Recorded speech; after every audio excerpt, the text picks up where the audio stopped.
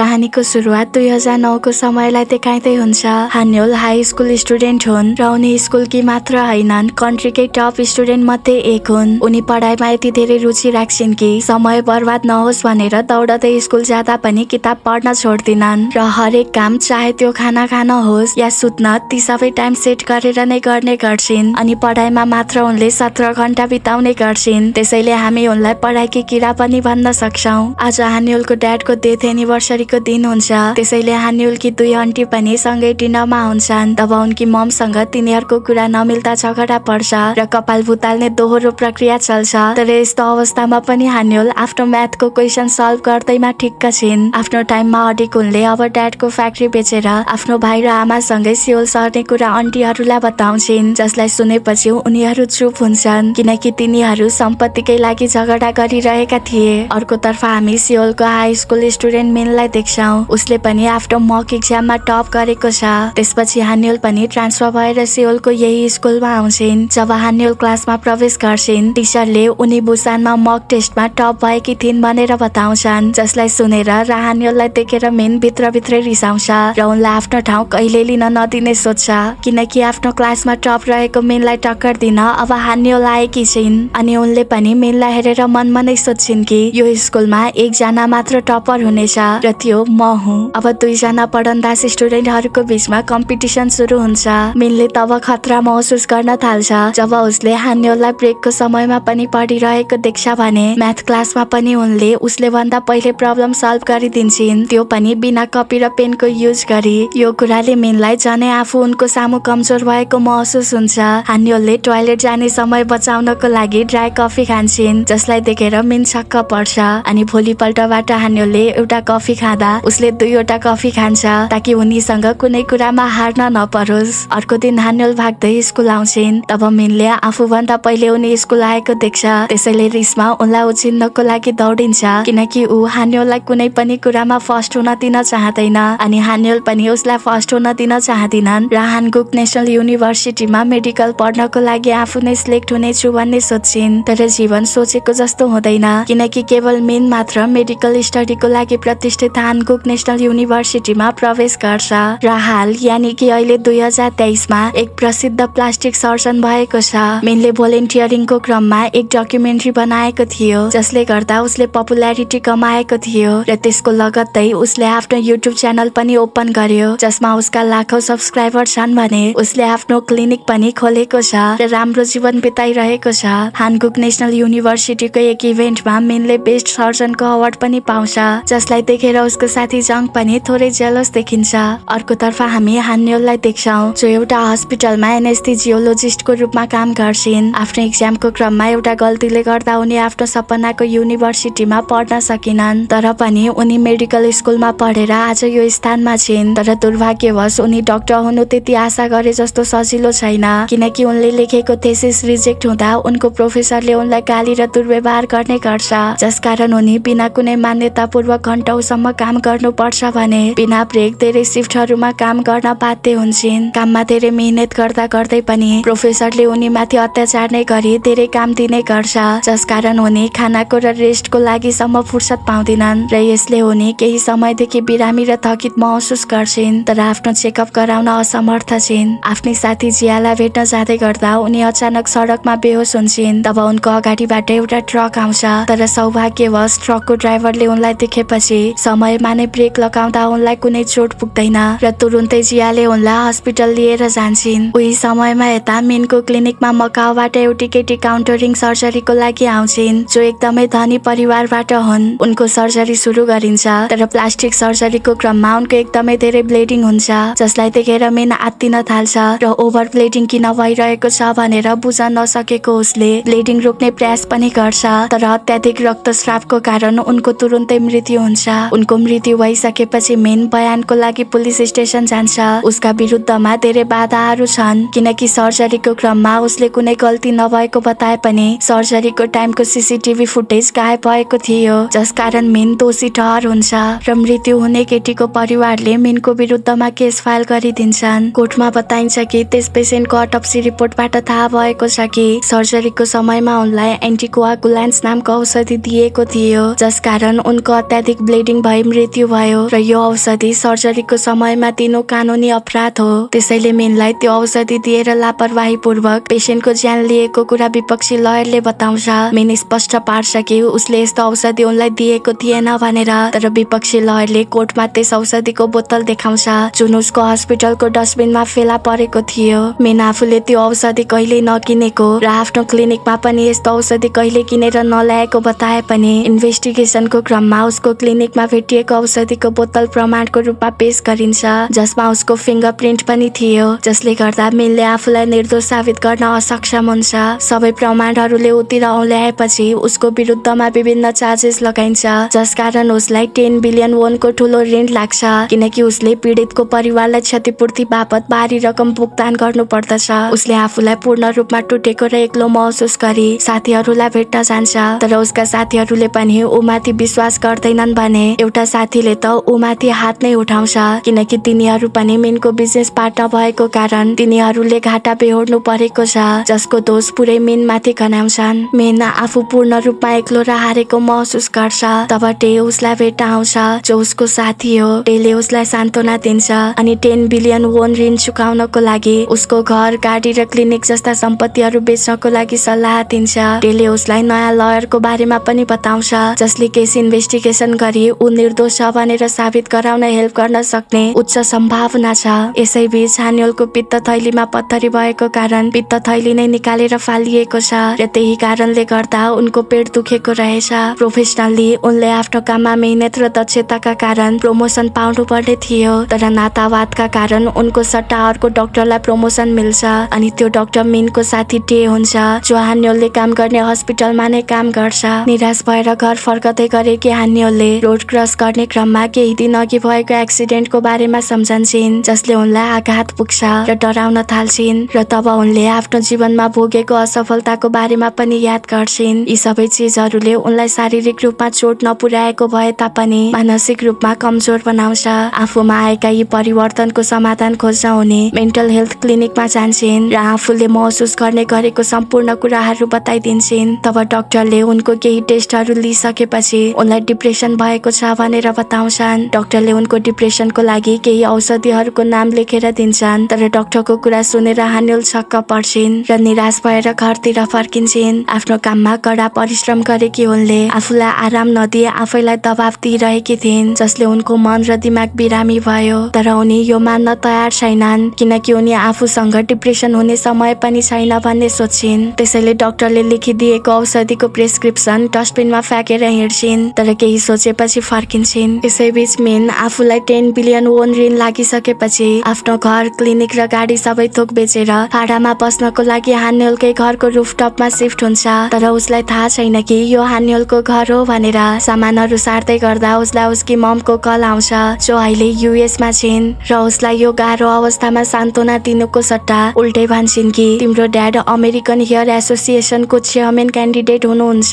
त्यसैले यो कुराको ध्यान राख्नु कि तिम्रो कारणले ड्याडको मेहनत खेर नजाओस्। उसले यो कुरामा पुरा ध्यान दिने बताएर कल कट गर्छ तर ऊ अति नै दुखी हुन्छ किनकि ऊ कमजोर दुखी र एक्लोपनको सामना गरिरहेको समयमा पनि उसकी ममले सान्त्वना दिएर माया जताउनुको सट्टा आफ्नो बारेमा मात्र सोचिरहेकी छिन्। ऊ निसासिएको महसुस गर्दै बाहिर निस्केर पीडामा आँसु खसाल्छ।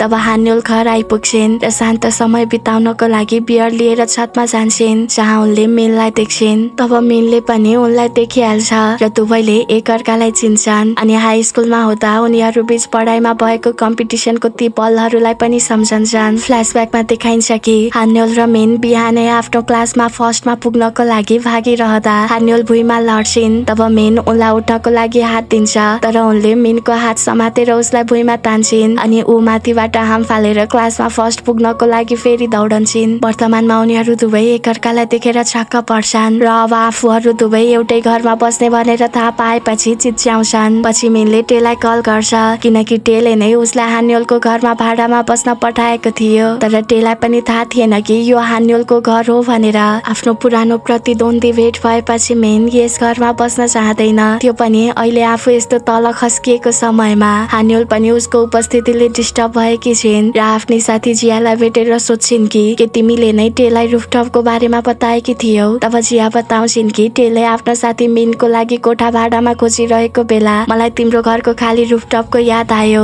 त्यसैले मैले उसलाई बताइदिए। एकअर्काको उपस्थितिले चिन्तित मिन र हान्युल बीच आक्रोश बुझ्नको लागि हामी उनीहरूको हाई स्कुलका दिनहरूमा फर्कन्छौँ। क्लासमा हान्युल आएपछि उनले राम्रो गर्दै थिइन् र बुलडोजर जस्तै स्टडी गरेर टप स्टुडेन्टको पोजिसनमा पुग्ने बाटो खोज्दै थिइन् जबकि मेन आरामदायी तरिकाले स्टडी गर्थ्यो। तर हान्योलले इक्जाममा फर्स्ट पोजिसन प्राप्त गर्दा ऊ सेकेन्ड हुन्छ जसले गर्दा ऊ सक हुन्छ। र एकछिनसम्म उसका हात खुट्टा त फतक्कै गलेर प्यारालाइज जस्तै भएर खुट्टै टेक्न सक्दैन। जसले गर्दा उसलाई साथीहरूले नर्सिङ रुममा लैजान्छन्। नर्सिङ रुमबाट फर्कदै गर्दा बाँकी स्टुडेन्टहरूले कुरा गर्दै हुन्छन् कि हान्योलले मेनलाई हराइदिएकी छिन् भनेर। यो सुनेर मेनले अब जसरी पनि हान्योललाई जित्ने अठोट गर्छ अनि भोलिपल्ट हान्योल दौडेर स्कुल आउँदा उनलाई जिस्काउँदै साइकलमा अघि जान्छ भने हान्योलले निन्द्रा बगाउन एउटा कफी खाँदा उसले दुईवटा कफी खान्छ जसलाई देखेर हान्योल छक्क पर्छिन्। त्यसपछि म्याथको प्रब्लम सल्भ गर्ने समयमा हान्योल भन्दा अघि सल्भ गर्छ र उनलाई पछि पार्दा खुब खुसी हुँदै उनलाई जिस्काउन पनि थाल्छ। वर्तमानमा हान्योलले जियालाई यी सबै कुराहरू सुनाएर बताउँछिन् कि मम्मीलाई फेरि देखेर खुसी छैन। तब जियाले भन्छन् कि म तिम्रो फर्स्ट लभको बारेमा अझ धेरै कुरा जान्न चाहन्छु। तर हान्योलले कुरा मोडिहाल्छिन् र आफूलाई डिप्रेसन भएको कुरा जियालाई बताउँछिन्। जबकि जियालाई उनको यो कुरा एउटा मजाक मात्र हो कि जस्तो लाग्छ र अझ सोध्छिन् कि तिमीले कुरा मोडे अनुसार मिन पक्कै पनि तिम्रो फर्स्ट लभ हुनुपर्छ। कि तिमी उसँग डेट गर्न जाँदैछौ हान्योल उनलाई यी सब कुरा सोच्न बन्द गर्न भन्छन्। र मेन छिट्टै उनको घरबाट सर्नेछ भन्ने विश्वास गर्छिन्। किनभने स्कुलमा उनीसँग हार्दा बेहोस हुने ऊ आफ्नो घमण्डको कारण पनि उनको घरमा बस्दैन जस्तो लाग्छ। हुन पनि मेन उनको घरमा बस्न चाहँदैन। तर आफू जे कारणले यो कोठाबाट सरे पनि डिपोजिट गरिएको पैसा फिर्ता हुने छैन भन्ने थाहा पाएपछि ऊ चिन्तित हुन्छ। त्यसैले ऊ कुरा गर्नको लागि तल आउँछ। तब उसको भेट हान्योलसँग हुन्छ। उसले डिपोजिट गरिएको पैसा फिर्ता नहुने भएकोले रुम सर्न नसक्ने बताउँछ। तब उनले कठोर स्वरमा भन्छन् कि तिमी यस घरमा बस्न सक्छौ। किनकि तिमी जस्तो कोही यहाँ बसोस् या नबसोस् मलाई फरक पर्दैन उनले यसरी कुरा गरेको सुन्दा मेन छक्क पर्छ र भन्छ कि तिम्रो घरमा बस्नुभन्दा बरु म थ्री पोइन्ट सेभेन बिलियन वोनमा अलिकति ऋण थपेरै भए पनि अर्को रुम खोज्छु। थ्री पोइन्ट सेभेन बिलियन वोनको कुरा सुनेर उनी अचम्म पर्दै त्यसको बारेमा सोध्छिन् तब मेन बताउँछ कि उसले आफ्नो टेन बिलियन वोन ऋण तिर्न घर गाडी र क्लिनिक सब बेच्यो तर अझ पनि थ्री पोइन्ट सेभेन बिलियन ऋण बाँकी छ भनेर।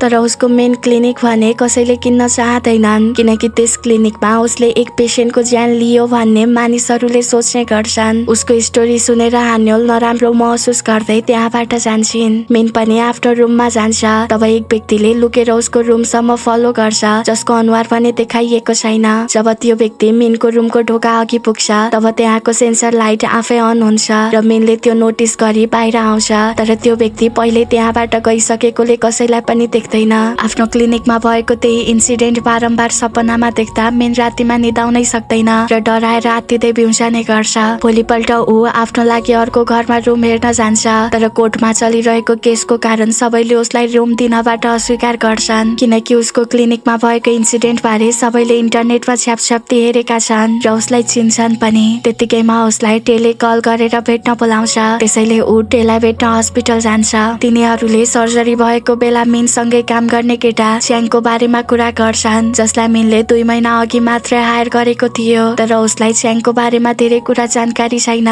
र त्यसैले पनि च्याङमाथि शङ्का हुन्छ। किनकि स्टेटमेन्ट दिने समयमा पुलिसलाई सबैले स्टेटमेन्ट दिएका थिए तर च्याङले दिएको थिएन। उनीहरू कुरा गर्दै गर्दा टेले हान्योललाई देख्छ र मिनलाई सोध्छ कि के तिमी हान्योलसँग बोल्छौ? मिन आफू हान्योलसँग अनकम्फर्टेबल फिल गर्ने र छिट्टै उनको घरबाट सर्ने बताउँछ। तब टेले सम्झाउँछ कि त्यो बेलाको कुरा लिएर अहिले पनि बच्चा चाहिँ व्यवहार गर्नु र अनकम्फर्टेबल फिल गर्नु ठिक होइन भनेर टेसँग कुरा गरिसकेपछि मेनले हान्योललाई पछ्याउँछ र उनको नक्कल गर्छ।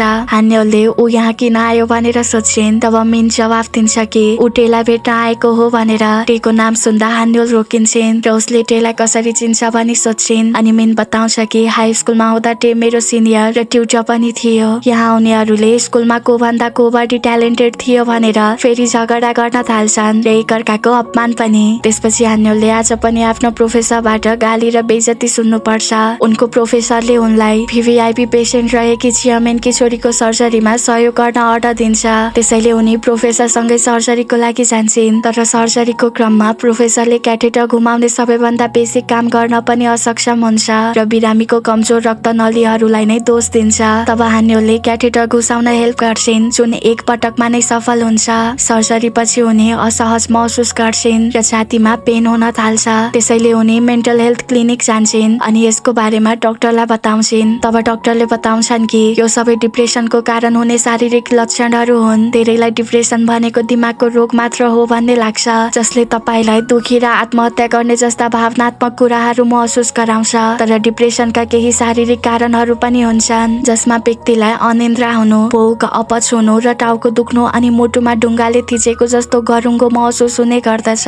डाक्टरको कुरा सुनेपछि हान्योलले सोध्छिन् त्यसो भए अब मैले के गर्नुपर्छ? तब डाक्टरले उनलाई अनिवार्य रूपमा रेस्ट गर्न र आफ्नो स्वास्थ्यको ख्याल राख्न भनेर सम्झाउँछन्। भोलिपल्ट हस्पिटलमा हुँदा उनलाई प्रोफेसरले कल गरेर बोलाउँछ किनकि च्याउमेनकी छोरीको सर्जरीको क्रममा प्रोफेसरले हातको धेरै ठाउँमा क्याटेटर घुसाएको थियो। त्यसैले च्याउमेन आफ्नी छोरीको हातका दागहरू देखाउँदै लापरवाही गरेकोमा चिच्याउँछिन्। जब हान्योल त्यहाँ आइपुग्छिन् तब प्रोफेसरले त्यो सबैको दोष हान्योलमाथि लगाउँछ। जबकि सर्जरीको क्रममा लापरवाही पूर्वक त्यसो गर्ने ऊ नै थियो। उनी यहाँ केही बोल्दैनन् चुपचाप उसको गल्तीको लागि माफी माग्छिन्। तर प्रोफेसर त्यतिले मात्र खुसी हुँदैन र आफ्नो अफिसमा गएपछि उल्टे हान्योल माथि चिच्याउँछ र गएर च्याउमेनको अघि घुँडा टेकेर माफी माग्न भन्छ राम्रो काम गर्दा र उसको गल्तीको दोष आफैले लिँदा पनि अझ उसले जस नदिएपछि हान्योलको आँखा खोलिन्छ र उनले घुँडा टेकेर माफी माग्न अस्वीकार गर्दै उसको सामना गर्छिन् भने उसले पेसेन्टमाथि गरेको लापरवाही कामको बारेमा पनि सुनाउँछिन् जसलाई सुनेर रिसाएको उसले हान्योलमा हात उठाउन खोज्छ। तर उनले उसको हात समात्छिन् अनि लात्तीले उसको खुट्टामा हानेर भन्छन् कि उसले च्याउमेनको अघि गएर यसरी नै घुँडा टेकेर माफी माग्नु पर्छ किनकि सबै गल्ती उसको थियो। हान्योल यति भनेर जान लाग्दा प्रोफेसरले उनलाई अब यो फिल्डमा कहिल्यै पाइला राख्न नमिल्ने गरी निकालिदिने धम्की दिन्छ। तब हान्योलले आफ्नो कोट र आइडी फुकालेर बाहिर निस्कन्छन्। किनकि यो काममा न त उनले सुख पाइन् न त शान्ति। अनि त्यसै पनि उनलाई डिप्रेसनको कारण रेस्ट चाहिएको छ। त्यसैले खुसी खुसी आफ्नो कामबाट रिजाइन लिन्छन्। त्यसपछि उनले काम छोडेको कुरा बिस्तारै हस्पिटलका सबै स्टाफहरूलाई थाहा हुन्छ। र छिट्टै उनकी साथी जियाले पनि ग्रुप च्याट मार्फत यो खबर थाहा पाएपछि हतारमा हान्योललाई भेट्न निस्कन्छन्। हान्योल घर आइपुग्दा जियाले उनलाई भेट्छिन् र जब छोड्नुको कारण सोध्छिन् तब ढोकाबाट हान्योलकी ममले उनीहरूको कुरा सुनेपछि हान्योलले जब छोडेको थाहा पाएर रिसाउँछिन् र उनले जब छोड्नुको कारण सोध्छिन् उनीहरूको बिचमा बहस हुन्छ र हान्योल आफूलाई ब्रेक चाहिएकोले छोडेको बताउँछिन्। तर पनि मम चुप हुने नाम लिन्नन् र त्यति राम्रो जब छोडेकोमा कराउन थाल्छिन् तब हान्योल बताउँछिन् कि काममा मैले कति अपमान झेल्नु पर्थ्यो त्यो तपाईँले कल्पना पनि गर्न सक्नु हुँदैन दिनमा सत्र घन्टा काम गर्दा पनि मैले गाली सुन्नु पर्छ मम भन्छन् कि भित्र सबैले गाली खाने गर्छन् तर त्यसको लागि जब छाड्नु हुँदैन थियो। ममको कुरा सुनेर हान्योल छक्क पर्छिन् र भन्छन् कि तपाईँ सही हुनुहुन्छ। मैले तिनीहरूलाई मेरो अपमान गरिरहन दिनु पर्थ्यो जबसम्म मेरो शरीर बिग्रदैन। हान्योलले आफूलाई डिप्रेसन भएको छ भन्ने कुरा ममलाई बताउँछिन्। तब रुमबाट तल आउँदै गरेको मिनले बाहिर ढोकाबाट उनको कुरा सुन्छ। हान्योल आफूले आफैलाई धेरै जोड दिएको कारण र थकित हुँदा रेस्ट नगरेकोले अनि आफूले सधैँ ममले चाहे अनुसार जीवन जिएर डिप्रेसनमा पुगेको बताउँछिन्। किनकि उनकी ममले सधैँ उनीमाथि गर्व गर्थिन् र राम्रो पढोस् भन्ने चाहन्थिन्। जसकारण हान्योल सानैदेखि पढाइमा फोकस गर्थिन् तर ती सबै कुराको दबावले उनलाई बिस्तारै बिरामी बनाउँदै लग्यो। हान्योल रिसाएर घरबाट बाहिर निस्कदा मिनले लुकेर उनी गएको हेर्छ। हान्योल बेलुकासम्म पनि घर नआएपछि हान्योलकी मम चिन्तित हुन्छन् र आफ्नो भाइ यानि कि हान्योलको मामालाई सबै कुरा बताउँछिन्। जो त्यही घरको तल्लो फ्लोरमा खाजा पसल खोलेर बसेका छन्। उनीहरूले हान्योललाई कल गर्छन् तर उनले कल उठाउँदिनन्। तब हान्योलको भाइ आएर आफूले हान्योलको दराजभित्र भेटेको डिप्रेसनको मेडिसिन मम र मामालाई देखाउँछ जसलाई देखेपछि उनीहरू पक्का हुन्छन् कि हान्योललाई वास्तवमै डिप्रेसन रहेछ भनेर रातमा घर फर्कदै गरेको मिनले बाटोमा हानलाई भेट्छ। उसलाई थाहा छ कि उनी डिप्रेसनमा छिन् भनेर त्यसैले उनको मोड फ्रेस बनाउनको लागि बाहिर ड्रिङ्क पिउन जाने प्रस्ताव राख्छ।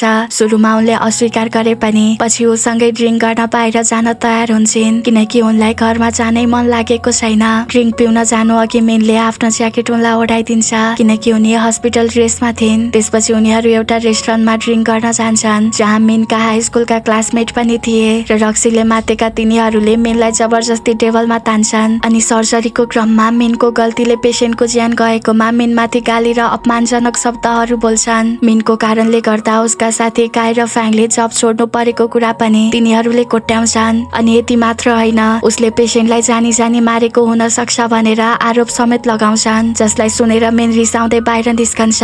तब काई र फ्याङ पनि उसकै पछि जान्छन्। काईले मिनलाई सम्झाउने प्रयास गर्छ कि तिनीहरू ड्रङ्क भएर त्यस्तो भन्दै थिए। त्यसैले तिमीले माइन्ड नगर भनेर तर फ्याङ आउँछ र आफू दुवैले उसको कारण जब छोड्नु परेकोमा चिच्याउँछ। तब मिनले काई र फ्याङलाई बताउँछ कि तिमीहरूले नसाको हालतमा हुँदा जब छोड्यौ किनकि तिमीहरूले त्यो जबलाई घृणा गर्थ्यौ। अनि तिमीहरूको क्षतिपूर्ति पनि मैले पहिले दिइसकेको छु ताकि मैले जस्तो दुःख तिमीहरूले भोग्न नपरोस्। मलाई हामीहरू साथी हौ जस्तो लाग्थ्यो तर त्यस्तो मैले मात्र सोच्दो रहेछु। हान्यलले उनीहरू बीचको सबै कुरा सुनिरहेकी हुन्छन्। त्यसपछि हान्यल र मेन घरतर्फ जान्छन् तर बीच बाटोमा उनीहरूले ड्रिङ्क पिएरै छाड्ने कुरामा अडिक भएपछि अर्को रेस्टुरेन्ट जान्छन् जहाँ उनीहरूको बीचमा कसले धेरै ड्रिङ्क गर्छ भनेर कम्पिटिसन सुरु हुन्छ।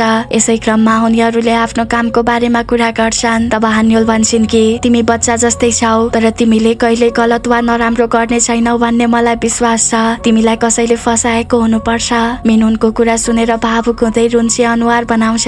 किनकि सबैले उसलाई गलत र दोषी ठहराइरहेको बेलामा हान्यल मात्र एक हुन् जसले ऊमाथि विश्वास गरिन्। मेन आफूले उनी डिप्रेसनसँग लडिरहेकी छिन् भनेर थाहा पाएको बताउँछ। जसलाई सुनेर उनी छक्क पर्छिन् र उसले यो कुरा कसरी थाहा पायो भनेर सोध्छिन्। तब मिन बताउँछ कि मैले तिम्रो र तिम्री मम बीचको सबै कुरा सुनिसकेको थिएँ। उनले आफूलाई डिप्रेसन भएको स्वीकार गर्दै बताउँछिन् कि आफ्नो खुसीलाई पछाडि राखेर पछिको समयलाई राम्रो बनाउन मैले कुकुरले जस्तै काम गरिरहे जसले मलाई डिप्रेसनमा पुर्यायो। यता घरमा हान्युलकी मम खुब रुन्छन् र आफ्नी छोरीलाई डिप्रेसन हुँदा पनि कसरी मैले थाहा पाइन भनेर पश्चाताप गर्छिन्। हान्युल र मिन रक्सीले मातेर घरतिर फर्किँदै गर्दा उनीहरू फेरि झगडा गर्छन्। र मिन बताउँछ कि हाई स्कुलमा हुँदा म तिम्रो निधार पड्काउन चाहन्थे अनि उसको कुरा सुन्न साथ हान्यलले पनि निधार पड्काउने गेम खेल्ने भन्छन्। हान्यलले मिनको निधारमा जोडसँग औलाले पड्काउँछिन्। तर जब मिनको पालो आउँछ तब हान्यललाई ममको मेसेज आउँछ जसलाई पढेर उनी भावुक भई रुन थाल्छिन्। किनकि उनकी ममले मेसेजमा लेखेकी हुन्छन् कि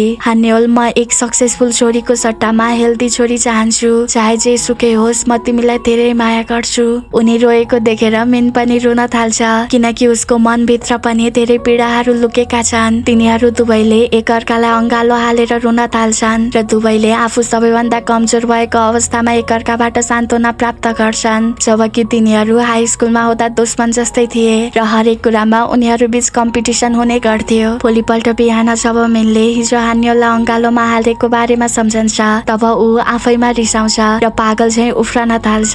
घर बाहिर हान्यलले उसलाई देख्छिन् र हिजोको कारण लज्जित महसुस गरी त्यही नजिकैको ट्रकको पछाडि लुक्छिन् तर त्यो ट्रक ड्राइभरले ट्रक लिएर गएपछि उनीहरू बीच आम्ने सामने हुन्छ। त्यसैले दुवै अप्ठ्यारो महसुस गर्दै एकअर्कासँग कुरा गर्न बाध्य हुन्छन्। जब मिनले हिजोको बारेमा स्पष्ट पार्न खोज्छ हान्यलले उसलाई रोक्छिन् र बताउँछिन् कि हिजो धेरै ड्रङ्क भएकोले हामी दुवै एकअर्कासँग रोएका थियौँ तर त्यसमा हामी कसैको गल्ती छैन। त्यसैले उनीहरूले अबदेखि ड्रिङ्क नपिउने र एकअर्कासँग दूरी कायम गर्ने बाचा गरी आफ्नो कामतिर लाग्छन्। घरमा गएपछि हान्यलकी ममले उनीसँग माफी माग्ने कोसिस गर्दै रुन थाल्छिन् र डिप्रेसनबाट निस्कन पुरा हेल्प गर्ने बताउँछिन्। केही मिनट पछि हान्यलकी मम भाइ र मामाले उनलाई डिप्रेसन पार्टी दिन्छन् र ममले उनको लागि विभिन्न परिकारका खाना पकाउँछिन् ताकि उनलाई खुसी बनाउन सकुन् भनेर। तर यी सब कुराले हान्यललाई झनै निराश बनाउँछ। उनी घरमा बस्दा बस्दा बोर भएर जियालाई कल गर्छिन् तर जिया पनि आफ्नो काममा व्यस्त थिइन्। यसैबीच मेन आफ्नो लयरहरूलाई भेटेपछि थाहा पाउँछ कि मेनसँगै काम गरेको च्याङ जसले पुलिस स्टेसनमा बयान दिन अस्वीकार गरेको थियो उसले अर्को कोर्टको अर्को सुनवाईमा बन्न राजी भएको छ भनेर त्यसपछि रातमा एक अपरिचित र मास्क लगाएको व्यक्तिले मेन नभएको मौका छोपेर मेनको रुमको झ्याल फुटालेर भित्र बस्छ। तब तल हान्यलकी ममले आफ्नो छोरा हानलाई एउटा ब्ल्याङ्केट दिन्छन् र त्यो ब्ल्याङ्केट मेनलाई दिएर आउन पठाउँछिन्। किनकि उनले मेनसँग ब्ल्याङ्केट छैन भन्ने कुरा नोटिस गरेकी थिइन्। त्यसैले हान ब्ल्याङ्केट पुर्याउन मेनको रुममा जान्छ। तब उसले रुमको झ्याल फुटेको नोटिस गर्छ भने ढोका पनि खुल्ला थियो। त्यति नै बेला मेन आफ्नो रुममा आइपुग्छ र आफ्नो रुममा कोही चोर बसेको महसुस भएपछि पुलिसमा रिपोर्ट गर्छ तर पुलिसले कुनै प्रमाण फेला पार्दैनन् र मेनको कुनै पनि सामान चोरी भएको थिएन। पुलिस गएपछि हानियलकी ममले मेनलाई आज आफ्नोमा सुत्नको लागि बोलाउँछिन् किनकि सिसा फुटेकाले त्यहाँ सुरक्षित छैन भन्ने उनलाई लाग्छ। तर मिनले जान अस्वीकार गर्छ जब ऊ फुटेका सिसाहरू उठाउँदै हुन्छ तब सिसाले उसको हात काट्छ र त्यति नै बेला हान्यल पनि त्यहाँ आइपुग्छिन् र उसलाई आफ्नो घरमा सुत्न हिँड्न भन्छन्। मिनले आफू साथीको रुममा सुत्न जाने बताउँदै अस्वीकार गर्छ। तब हान्योलले उसलाई याद दिलाउँछिन् कि तिम्रा सबै साथीहरूले तिम्रो साथ छोडिसकेका छन्। एउटा टे छ तर ऊ पनि यति बेला सर्जरीमा व्यस्त छ भनेर। त्यसपछि उनले सिसा उठाउनमा उसको हेल्प गर्छिन् र उसलाई मनाएर आफ्नै घरमा लिएर जान्छन्। हान्योलको घरमा डिनर गरिरहँदा उसले आफू र हान्योल एउटै स्कुलमा पढेको कुरा बताउँछ। अनि डिनर गरिसकेपछि हान्योललाई आफूसँगै बाहिर आइसक्रिम खान जानको लागि प्रस्ताव राख्छ। किनकि उनले उसको रुममा सफा गर्न हेल्प गरेकी थिइन्। तर हान्योलले रात परिसकेको बताएर अस्वीकार गरेर आफ्नो रुमतिर जान्छन्। तब उनले ममलाई रुमको ढोका अगाडि देख्छिन्। जो उनको डिप्रेसन सन्चो बनाउने स्पेसल टी लिएर उनलाई नै बोलाइरहेकी थिइन्। आफ्नी ममको घरिघरिको हेरचाहबाट बच्नको लागि हान्योल थाक्दै मिन भएको ठाउँमा जान्छन् र आइसक्रिम खान बाहिर जानको लागि रेडी हुन्छन्। आइसक्रिम खाँदै गर्दा एउटा एम्बुलेन्समा बिरामी लगिन्छ जसलाई देखेर हान्योल आफू बेरोजगार भएकोमा दुखी महसुस गर्छिन्। तब मिनले उनलाई दुखी हुनुको सट्टा केही रमाइलो गर्न भन्छ तर हान्योलले पढ्न र आफ्नो कामको बारेमा सोच्न बाहेक रमाइलो गर्ने बारेमा कहिल्यै ध्यान दिनन् जसकारण उनलाई रमाइलो कसरी गर्नुपर्छ भनेर पनि थाहा छैन। त्यसैले मिन उनले पढाइ बाहेक रमाइलो अनुभव गर्न आवश्यक छ भन्ने महसुस गरेर उनलाई टबुक्की खान र गेम खेलाउन लैजान्छ जहाँ उनीहरूले निकै रमाइलो गर्छन्। विशेष गरी हान्योलले र सायद आफ्नो जीवनकालमा पहिलो पटक होला उनले यसरी रमाइलो गरेको। त्यसपछि तिनीहरू घर फर्किन्छन् र आज हान्योलले एकदमै खुसी महसुस गर्दैछिन्। घर पुगेपछि तिनीहरू दुवैले एकअर्कालाई याद गर्छन्। हान्योल भोलि पनि आज जस्तै रमाइलो हुनेछ भन्ने आशा गरेर सुत्छिन्। भोलिपल्ट बिहान हान्योल निराश भएर मिन भएको ठाउँमा आउँछिन्। किनकि उनको प्रोफेसरले उनलाई फुल टाइम इम्प्लोइको सट्टा कन्ट्र्याक्ट इम्प्लोइको रूपमा भर्ना गरी कन्ट्र्याक्ट रिन्यू गरेको रहेछ। जसकारण उनले अहिलेसम्मको स्यालेरी कम पाउने छिन्। त्यसैले उनी रिसमा प्रोफेसरसँग कुरा गर्न जान खोज्छिन्। तर मिनले उनलाई रोकेर सम्झाउँछ कि तिमीले पहिले एकपटक प्रोफेसर माथि लात हानेकी छेउ? र अब फेरि एकपटक हात उठायो भने तिमीलाई फेरि अन्त कतै कसैले जब दिने छैन। उसको कुरा सुनेपछि हान्योल शान्त हुन्छन्। तब त्यति नै बेला हान्योलको भाइ आएर मिनको रुमको झ्याल बनिसकेको बताएपछि मिन त्यहाँबाट जान्छ तर जाँदै गर्दा नोटिस गर्छ कि हान्योल कति धेरै चिन्तित छिन् भनेर। पछि हान्योलले हस्पिटलमा आफ्ना कलिग्सलाई भेट्छिन् र उनीहरूले आफू पनि कन्ट्र्याक्ट इम्प्लोइ रहेको कुरा उनलाई बताउँछन्। त्यसैले हान्योलले उनीहरूलाई प्रोफेसरसँग कुरा गर्न जाउँ भनेर भन्छन् तर तिनीहरू दुवैले अस्वीकार गर्छन् र प्रोफेसरलाई नउक्साउन अनि उनलाई यो हस्पिटल नआउन भन्छन्। किनकि प्रोफेसरले तिनीहरूलाई हान्योलसँग कुरा गरेको देखे भने रिसाउने छन् भन्ने उनीहरूलाई लाग्छ। यता मेन हान्योलकै बारेमा सोचिरहेको हुन्छ र आफ्नो रुमको विन्डो ठिक बनाएकोमा केही सुन्तला किनेर हान्योलको घरमा जान्छ। तर उसले ढोकाबाट हान्योलकी मम र भाइ बीचको कुराकानी सुन्छ जहाँ हान्योलको भाइले ममलाई आर्टिकल पढेर बताउँदै थियो कि मिन एक प्लास्टिक सर्जन हो र उसले लापरवाही पूर्वक सर्जरी गरेर पेसेन्टको मृत्यु भएपछि कोर्टमा उसको विरुद्ध केस पनि चलिरहेको छ भनेर उसले ममलाई सोध्छ पनि के हामीले यस्तो मान्छेलाई हाम्रो घरमा राख्दा ठिक हुन्छ त मम? बाहिरबाट यो सबै सुनिरहेको मिन निराश भएर चुपचाप आफ्नो रुमतिर जान्छ। तब हान्योलले उसलाई देखेपछि छतमा जान्छन् र ऊ आफ्नै सोचमा डुबेको देख्छिन्। मिन आफ्नो रुमतिर जान लाग्दा हान्योलले उसको हात समातेर सोध्छिन् कि आखिर उसलाई के भएको छ? भनेर। तब मिनले जवाफ दिन्छ कि तिमी यहाँबाट जाऊ। मैले केही पलको लागि बिर्सिएको थिएँ कि। म कस्तो परिस्थितिमा छु भनेर। यति भनेपछि ऊ चुपचाप आफ्नो रुमतिर जान्छ र हान्योलले पक्कै पनि केही गडबड छ भन्ने महसुस गरी घरतिर जान्छन्। घरमा ममले हान्योललाई मिनको केसको बारेमा बताउँदै उनलाई मिनबाट टाढा रहन आग्रह गर्छिन् जसलाई सुनेपछि उनले बुझ्छिन् कि अघि मिन किन उनको ढोका बाहिरबाट फर्केको थियो भनेर उनले मिनलाई मेसेज पठाउने प्रयास गर्छिन् तर उनलाई महसुस हुन्छ कि उनीसँग त नम्बर नै छैन। यसैबीच मिनलाई उसको लयरले कल गरेर बताउँछन् कि उसँगै काम गर्ने च्याङले कोर्टमा साक्षीको रूपमा उपस्थित हुन अस्वीकार गरेको छ र कोर्ट सेसन नजिकै भएकोले यसले उसको प्रतिरक्षालाई हानि पुर्याउन सक्छ। मिनले तुरुन्तै च्याङलाई कल गर्छ र च्याङले कल नउठाएपछि हस्पिटलमा भेट्न जान्छ। तर च्याङले ऊ आउनु अगाडि नै जबबाट रिजाइन लिइसकेको थाहा पाउँछ जसकारण मिन चिन्तित हुन्छ अनि तुरुन्तै आफ्नो लयरलाई कल गरेर बताउँछ कि मलाई च्याङ माथि शङ्का लागेको छ किनकि च्याङ रिजाइन दिएर विदेश जाने तयारीमा रहेछ। त्यसैले सायद ऊ माथि इन्भेस्टिगेसन गर्नुपर्छ। मिनले बुझ्छ कि कसैले आफूमाथि ठुलै षड्यन्त्र गरिरहेको छ भनेर आँखाभरि आँसु बनाउँदै एक्लै ड्रिङ्क पिउँछ र आफूलाई हान्योलले भनेका कुराहरू सम्झन्छ। तब हामी यता हान्योललाई घरमा देख्छौँ जो उसकै केसको बारेमा न्युज हेरिरहेकी हुन्छन्। हान्योलले उसको केसको रिसर्च गर्न थाल्छिन् र मिनको सर्जरीको क्रममा भएको जस्तै अर्को केस फेला पार्छिन् जसले मिनको केसमा हेल्प हुन सक्छ। भोलिपल्ट मिन ट्रायलको लागि कोर्टमा जान्छ तर च्याङले साक्षीको रूपमा बयान दिन अस्वीकार गरेको कारण मिनको पक्षमा केस झनै कमजोर बन्दै जान्छ। तर त्यति नै बेला हान्योल त्यहाँ आउँछिन् र रातभरि रिसर्च गरेर फेला पारेको त्यस्तै केसको प्रमाणहरू पेश गर्छिन् जसले यो केसलाई अलि घुमाउन सक्छ। हान्योल र मिनको अनुहारमा आशाका किरणहरू झल्किन्छन् तर अन्तिम मिनेटमा जजले कागजातहरू खारेज गरी अर्को सुनुवाईमा प्रमाण पेश गर्न आग्रह गर्छन् जसले गर्दा उनीहरूको आशा चकनाचुर हुन्छ। कोर्ट बाहिर रिपोर्टरहरूले मिनमाथि प्रश्नका वर्षातहरू गराउँछन् तब हान्योल उसलाई हेरिरहन्छन् र ऊ कति एक्लो छ भनेर महसुस गर्छिन्। एक व्यक्तिले हान्योललाई धक्का दिएर जाँदा उनी भुइँमा खस्छिन् जसलाई नोटिस गरेको मेन तुरुन्तै उनलाई उठाउन जान्छ। तर त्यहाँ पनि रिपोर्टरहरू पछि लागेपछि ऊ हान्योललाई लिएर केही परसम्म भाग्छ। त्यतिकैमा उसले हान्योलको हातमा चोट देख्छ जुन अघि लडेर भएको थियो। त्यसैले उसले उनलाई आफ्नो क्लिनिकमा ल्याउँछ र उनको हातमा पट्टी बाँधिदिन्छ। तब हान्योलले उसलाई राम्रो फिल गराउनको लागि ड्रिङ्क पिउन जाने प्रस्ताव गर्छिन् तर उसले नजिकै सनराइज हेर्न जाने सुझाव दिन्छ। त्यसैले उनीहरू सनराइज हेर्नको लागि समुद्र तटमा जान्छन् तर त्यहाँ आकाश पातलले ढाकिसकेको थियो जसलाई उनीहरूले आफ्नो जीवनसँग तुलना गर्दै मजाक गर्छन् कि यस समय उनीहरूको जीवन बादलले ढाके जस्तै भएको छ भनेर मिनले अब आफूहरू दुवै क्लासमेट नभई फ्रेन्ड बन्ने प्रस्ताव गर्छ जसमा उनी सहमत हुन्छन् जसले मिनको मुहारमा मुस्कान छाउँछ। तब हामीले यता मिनको क्लिनिकको अफिस रुम र घरको रुममा एक पेन देख्छौँ जसमा हिडेन क्यामेरा लुकाइएको छ। अर्कोतर्फ जियाले युट्युब हेरिरहँदा चङको भिडियो हेर्छिन् जुन भिडियो उनलाई निकै बकवास लाग्छ। तर हेर्दै गर्दा झुक्किएर उनले उसको च्यानल सब्सक्राइब गर्छिन् तब यता जङको मोबाइलमा नोटिफिकेसन आउँछ।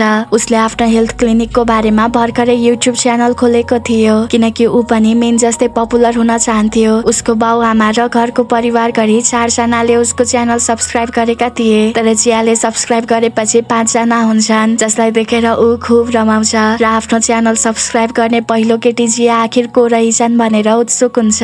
यता हान्योल र मेन समुद्रबाट फर्केर पेट्रोल हाल्नको लागि जान्छन् जहाँ हान्योलले दुई हाई स्कुल गर्ल बिचको फ्रेन्डसिपलाई देखेपछि आफ्नो बालपन याद गर्छिन्। सानैदेखि हान्योल पढन्दाज भएकोले उनका कोही साथी बन्दैनथे जसले गर्दा उनी एक्ली हुने गर्थिन्। तर आफ्नो पढाइमा ग्रेड राम्रो आउँदा उनको बिरामी ड्याडको मुहारमा मुस्कान आएको थियो। त्यसैले उनले आफूलाई सफल बनाउने प्रण गरिन् जस कारण उनी साथी बनाउने र रमाइलोमा कहिले हिँडिनन्। मात्र उनको ध्यान पढाइमा हुन्थ्यो। वर्तमानमा हान्योल मिनलाई आफ्नो साथी बनाउँदा खुसी छिन्। उनीहरू खाजा खानको लागि एउटा रेस्टुरेन्टमा जान्छन्। र हान्योलले मिनलाई त्यही केसको कफी हेर्नको लागि दिन्छन् जसको बारेमा उनले रिसर्च गरी कोर्टमा पेश गरेकी थिइन्। मिनले खाजा अर्डर गर्दै गर्दा हान्योल निधाउँछिन् किनकि उनले रातभर बसेर केसको बारेमा रिसर्च गरेकी थिइन्। त्यसैले मिनले हान्योललाई केही समय सुत्न दिनको लागि रेस्टुरेन्टकी मालिकनीसँग कुरा मिलाउँछ। र अनि उनलाई जाडो भएको नोटिस गरेर आफ्नो कोट ओढाउन खोज्छ तर उनी निन्द्रामा मिनको काखमाथि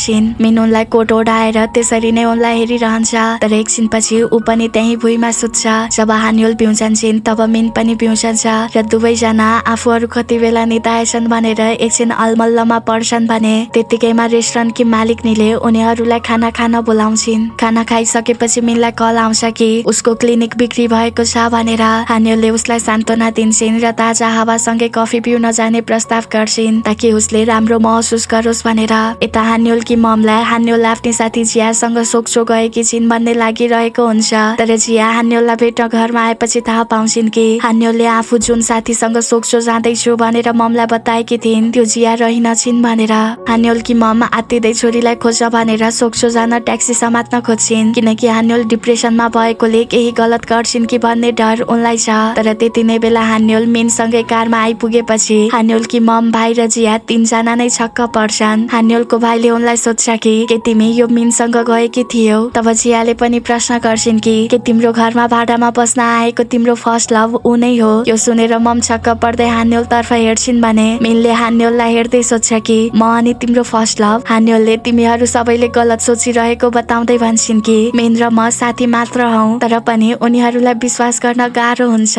घरभित्र गएपछि पनि उनले जिया मम र भाइलाई बताउँछिन् कि म र मेन साथी मात्र हौ ऊ सभ्य व्यक्ति हो अनि उसको चलिरहेको केसमा हेल्प गर्नलाई मात्र म सोक्सो गएको थिएँ। पछि हान्योलकी ममले जियालाई हान्योलको लागि एउटा केटा खोजेर ब्लाइन्डेड सेटअप गरिदिन भन्छन्। किनकि उनलाई आफ्नै छोरी हान्योल मेनसँग नजिक हुन्छन् कि भन्ने चिन्ताले सताउँदै थियो। तर जियासँग भने झुट बोल्छिन् कि सायद हान्योल डेटमा गइन् भने डिप्रेसनबाट बाहिर निस्कन हेल्प पो हुनेछ कि भनेर। जिया आफ्नो अफिस पुगेपछि त्यही काम गर्ने नर्सलाई सोध्छिन् कि के तिमीले चिनेको कोही डिसेन्ट केटा छ? किनकि म ब्लाइन्डेड क्यान्डिडेट खोजिरहेको छु। त्यतिकैमा जियालाई कसैको कल आएपछि त्यहाँबाट जान्छन् भने नर्सलाई लाग्छ कि सायद जिया ब्लाइन्ड डेटमा जान चाहन्छन् भनेर। त्यसैले उनी जङको अफिसमा गएर उसलाई सोध्छिन् कि के तपाईँ ब्लाइन्ड डेटमा जान चाहनुहुन्छ? सुरुमा त जङले अस्वीकार गर्छ तर ब्लाइन्ड डेटमा जाने केटी जिया हुन् भनेर बताएपछि ऊ तुरुन्तै ब्लाइन्ड डेटमा जान तयार हुन्छ।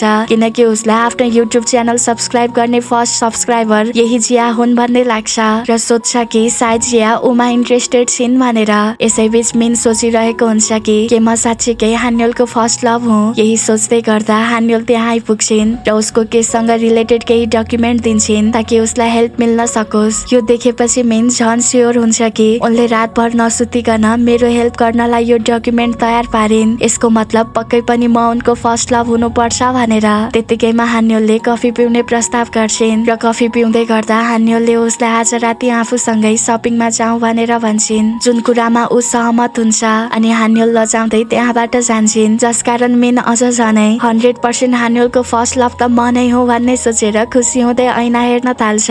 अनि आफूलाई ऐनामा हेरेर मक्क परेको ऊ हान्यलसँग सपिङमा जानको लागि कुन कपडा लगाउने हो भनेर राम्रो कपडा खोज्न सुरु गर्छ।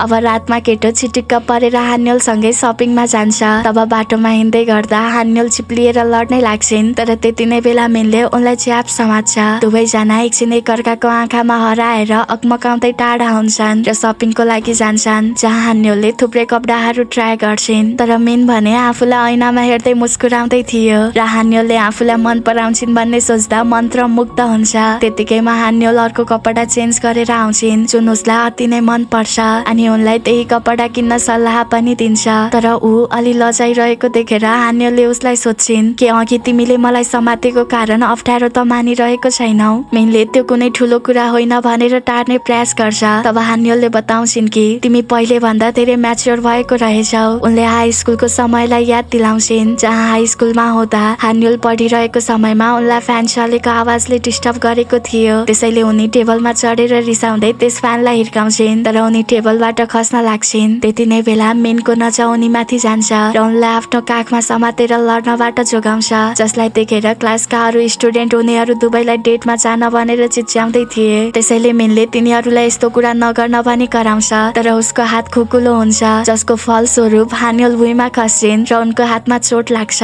हात मर्किएको कारण उनले मुखले लेख्ने प्रयास गर्छिन् जसलाई देखेर मिनले आफूलाई दोषी महसुस गरेको थियो र उनको लागि नोट तयार पारेर दियो भने घर जाने बेला उनको ब्याग पनि बोकिदिएको थियो। त्यसकारण हानियल वर्तमानमा मिनलाई बताउँछिन् कि हामीहरू बीच कम्पिटिसन भए पनि तिमीले साँच्चै अरूको ख्याल राख्छौ र कहिले कसैलाई हानि पुर्याउन सक्दैनौ। सपिङ गरेर घरतिर फर्काउँदै गर्दा हान्यलले मिनलाई केही बताउनु छ भन्छन्। र सायद उनले उसलाई मन पराउँछु भन्न खोजिरहेकी छिन् भन्ने सोचेको मिन मनमा नै गदगद र नर्भस हुन्छ। तर हान्यलले बताउँछिन् कि म भोलि ब्लाइन्ड डेटमा जाँदैछु। यो कुरा म तिमीलाई पहिले बताउन चाहन्थे तर मलाई धेरै लाज लागेको थियो। उनले आफू डेटमा जाने ड्रेस चुज गर्नको लागि उसलाई सपिङमा ल्याएकी रहेछन् किनकि उनी मिनसँग कम्फर्ट फिल गर्थिन्। यो सुनेर बिचरो मिनको मुटु चकनाचुर हुन्छ भने हान्यल अझ बताउँछिन् कि उनलाई डेट मन नपर्ने भए तापनि अब ती कुराहरूको अनुभव लिन चाहन्छन्। जुन कुराहरू उनले पहिले गर्थिनन्। मिन उनको कुरा सुनेर छक्क पर्छ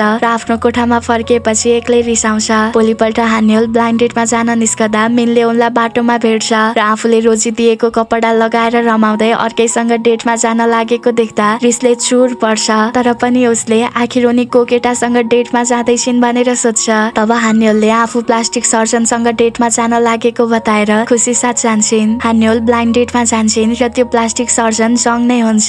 जङ हान्यललाई जिया मानिरहेको हुन्छ। त्यसैले उसले बारम्बार उनलाई जिया नामले बोलाइरहेको थियो भने आफ्नो युट्युब च्यानलको बारेमा पनि बताइरहेको थियो। जुन कुरा हान्यललाई अनौठो लाग्छ उसले हान्यलसँग जियाको बारेमा कुरा गरिरहेको हुन्छ र हान्यलले पनि अनौठो मान्दै जियाको बारेमा बताउँछिन्। जसबाट हामीलाई थाहा हुन्छ कि जियाको एउटा छोरा पनि छ भनेर जबकि जङ्की पनि एक छोरी रहेछन् जसले बाहिर रोडबाट आफ्नो बाउलाई एक केटीसँग डेटमा बसिरहेको देखेर छक्क पर्छिन्। जङ्की छोरी यानि कि नोमका साथीहरूले उनलाई जिस्काउँछन् अनि उनले आफ्ना साथीहरूलाई घर पठाउँछिन् र आफू चाहिँ ड्याडको सामना गर्न जान्छन्। नोम जङको अगाडि जान्छन् अनि सोध्छिन् कि के यो तपाईँकी गर्लफ्रेन्ड हो? तब जङले हान्योल आफ्नै गर्लफ्रेन्ड नभई ब्लाइन्ड डेटमा आएको बताउँछ जसलाई सुनेर नोम रिसाउँदै भन्छन् कि म त अहिलेसम्म ब्लाइन्ड डेटमा गएको छैन भने तपाईँ जस्तो बुढो केटा किन ब्लाइन्ड डेटमा हुनुहुन्छ?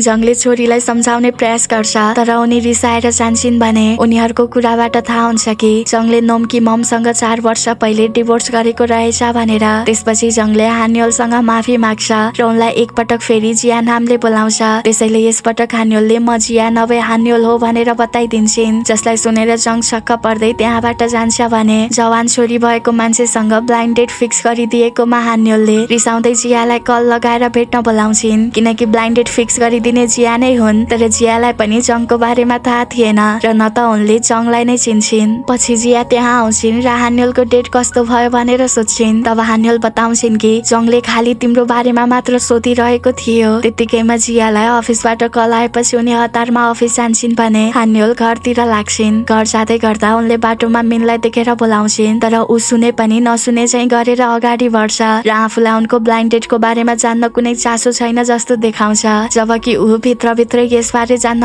उत्सुक थियो। हानियोलले उसलाई पछ्याइरहन्छन्। र आजको ब्लाइन्ड डेट खराब भयो भनेर उसलाई सुनाउँछिन्। जुन कुरा सुनेर उसको भित्रभित्रै हड्डी हाँसेको छ र खुसीले हँसिलो अनुहार बनाउँदै थप जिज्ञासु पनि हुन्छ। यसैबीच हानियोलकी दुई आन्टीहरू उनको घरमा आउँछन् र मामाको रेस्टुरेन्टमा छन्। उनीहरूलाई हानियोलले हस्पिटलको जब छोडेको बारेमा थाहा हुन्छ। त्यसैले हानियोलको बेइज्जत गर्न थाल्छन् भने अब हानियोल कसैले विवाह गर्न योग्य पनि छैनन् भनेर बताउँछन्। जसलाई सुनेर हानियोलकी ममलाई रिस उठ्छ र झुट बोलिदिन्छन् कि। मेरी छोरी हानियोलले विवाह गर्नको लागि जब छोडेकी हुन् र अहिले उनी आफ्नो पार्टनरसँग डेटमा गएकी छिन् जो एक सक्सेसफुल प्लास्टिक सर्जन हो। हान्योलले विवाह गर्न जाँदैछिन् भन्ने सुनेर उनीहरू छक्क पर्छन्। अनि बाहिर हान्योल र मिनलाई सँगै आइरहेको देखेपछि सोध्छन् कि सायद हान्योलले विवाह गर्ने केटा ऊ नै हो भनेर। यति ह्यान्डसम र सक्सेसफुल केटो हान्योलले रोजेको देखेर प्रशंसा गर्दै मिनलाई तानेर भित्र लैजान्छन्। अनि उनीहरूको विवाहको बारेमा कुरा समेत निकाल्छन् तर हान्योलले बताइदिन्छन् कि मिन मेरो बोयफ्रेन्ड होइन त हामी विवाह नै गर्दैछौ। यो सुनेपछि ती दुई आन्टीहरू हान्योलकी ममले झुट बोलेकोमा खिल्ली उडाउँदै बेइज्जत गर्न सुरु गर्छन्। अनि मेन प्लास्टिक सर्जन हो भनेर थाहा पाएकोले राम्री बन्नको लागि विभिन्न आइडियाहरू माग्छन्। तर हान्योलकी मम र हान्योलको बेइज्जत गरेको देखेर रिसाएको मिनले पनि तपाईँहरू सर्जरी गरे पनि राम्रो हुन सक्नुहुन्न भनेर खिल्ली उडाइदिन्छ। र तब हान्योलले पनि बाहिरी सौन्दर्य भन्दा भित्री सौन्दर्य म्याटर गर्छ भनेर सुनाइदिन्छन्। यो सुनेर रिसाएकी हान्योलकी आन्टीले हान्योललाई किन हस्पिटलबाट निकालियो भनेर प्रश्न गर्छिन् जसले हान्योललाई नराम्रो महसुस गराउँछ भने उनका आन्टीहरू त्यहाँबाट जान्छन्। दुखी हान्योल साँझमा ड्रिङ्क लिएर मिनकोमा आउँछिन् अनि उनीहरू सँगै बसेर ड्रिङ्क गर्न थाल्छन् जहाँ हान्योलले मिनलाई बताउँछिन् कि म बेरोजगार भएर डिप्रेस महसुस गर्छु अनि ब्याड लकको कुरा यो हो कि जोसँग म ब्लाइन्ड डेटमा गएँ उसकी टिनेज छोरी पनि रहेछ। उनी आफ्नो बेरोजगार र दिक्क लाग्दो जीवनबाट निराश हुन्छन्। तब मिनले आफू पनि बेरोजगार भएको कुरा उनलाई सुनाउँछ। अनि दुवै मिलेर ड्रिङ्क कसले धेरै पिउने भनेर कम्पिटिसन गर्छन्। मिनले हान्योलाई अलग अलग हस्पिटलको जब साइटमा जब एप्लिकेसन पठाउन सल्लाह दिन्छ। अनि फेरि पिउनको लागि वाइन लिन जान्छ र त्यति नै बेला पानी पर्न सुरु हुन्छ। तर पानी पर्दा पनि उनीहरू छाता ओढेर ड्रिङ्क गर्छन्। हान्योल अचानक मिनको काँधमा निधाउँछिन् उसले हान्योलाई मायाले स्पर्श गर्छ र आफू उनको प्रेममा परेको महसुस गर्छ। भोलिपल्ट बिहानै उनलाई टाढाको एक हस्पिटलबाट चिफ एनेस्थिजियोलिस्ट पोस्टको इन्टरभ्यू दिनको लागि भनेर कल आउँछ। जसलाई सुनेर उनी छक्क पर्छिन् र तुरुन्तै मिनलाई भेटेर यो खबर दिन्छन् कि हिजो बेलुका ड्रङ्क भएको बेला उनले आफ्नो रिज्युम वावन मेडिकल सेन्टरमा दिएकी रहेछन्। त्यसैले हान्योल नर्भस छिन् जबकि मिन उनको लागि खुसी देखिन्छ र टाढा भए पनि उनलाई इन्टरभ्यू दिन जानको लागि प्रोत्साहित गर्छ। तब हान्योलले आफू बेरोजगार हुँदा महसुस गरेको कमजोरीलाई याद गर्छिन् र इन्टरभ्यू दिन जाने निर्णय गरी आफ्नो फ्यामिलीसँग पनि कुरा गर्छिन्। भोलिपल्ट हान्योल टाढाको मेडिकल सेन्टरमा इन्टरभ्यू दिन जान्छन्। तब उनलाई मिनको मेसेज आउँछ कि भन्ने आश लाग्छ। जबकि यता मेन उनलाई गुड लक विस मेसेज पठाउन खोज्छ तर हिम्मत गर्नै सक्दैन। त्यति नै बेला टे मेनलाई भेट्न आइपुग्छ र तिनीहरू खाना खानको लागि बाहिर जान्छन् जहाँ टेले हान्योलको कुरा गर्छ। टे अहिले हान्योलले काम गर्ने हस्पिटलमा प्रोफेसरको पोस्टमा छ र उसले मिनलाई बताउँछ कि आज हान्योल इन्टरभ्यूको लागि गएकी छिन् भनेर मलाई थाहा छ। उनले इन्टरभ्यू दिने मेडिकल सेन्टरबाट कल गरेर उनको बारेमा सोधिएको थियो। त्यसैले मैले बताइदिए कि हान्योलले कसरी आफ्नो प्रोफेसरमाथि कि खानेकी थिइन् जसकारण उनलाई हस्पिटलबाट निकालिएको थियो भनेर। यो सुनेर मेन रिसाउँछ र हान्योलको प्रोफेसरले हान्योलमाथि दुर्व्यवहार गरेपछि उनले त्यसो गरेकी थिइन् भनेर किन बताएन भनी रिसाएर जान्छ। किनकि टेले हान्योलको बारेमा सबै सत्य नबताएको कारण उनी समस्यामा पर्छिन् भन्ने डर उसलाई छ र नभन्दै त्यस्तै हुन्छ। किनकि मेडिकल सेन्टरमा इन्टरभ्यू दिन पुग्न साथ उनलाई कल गरेर बताइन्छ कि अब तपाईँलाई इन्टरभ्यू इन्टरभ्यू दिन आउन आवश्यक छैन। किनकि डिरेक्टरले तपाईँको हिस्ट्री हेर्दा तपाईँ हाम्रो हस्पिटलको लागि क्वालिफाई हुनुहुन्छ भन्ने लागेन। यो सुनेर हान्युल दुखी हुँदै ट्रेन स्टेसन नजिक गएर बस्छिन् र मिनलाई कल गरेर बताउँछिन् कि उनी आफ्नो जीवनमा कसरी असफल भइरहेकी छिन् भनेर। जब उनी ट्रेन चढेर घर जान खोज्छिन् तब त्यति नै बेला मिन उनको अगाडि देखा पर्छ अनि यो उनको गल्ती होइन भनेर उनलाई सम्झाउन खोज्छ। त्यसपछि टेले हस्पिटलको डिरेक्टरलाई कुरा लगाएर आफ्नो इन्टरभ्यू क्यान्सल भएको रहेछ भन्ने कुरा हान्योलले मिन मार्फत थाहा पाउँछिन्। अनि मिन यति टाढा के कामले आएको हो भनेर सोध्छिन् तब उसले आफू यहाँ घुम्न आएको बाहना बनाउँछ।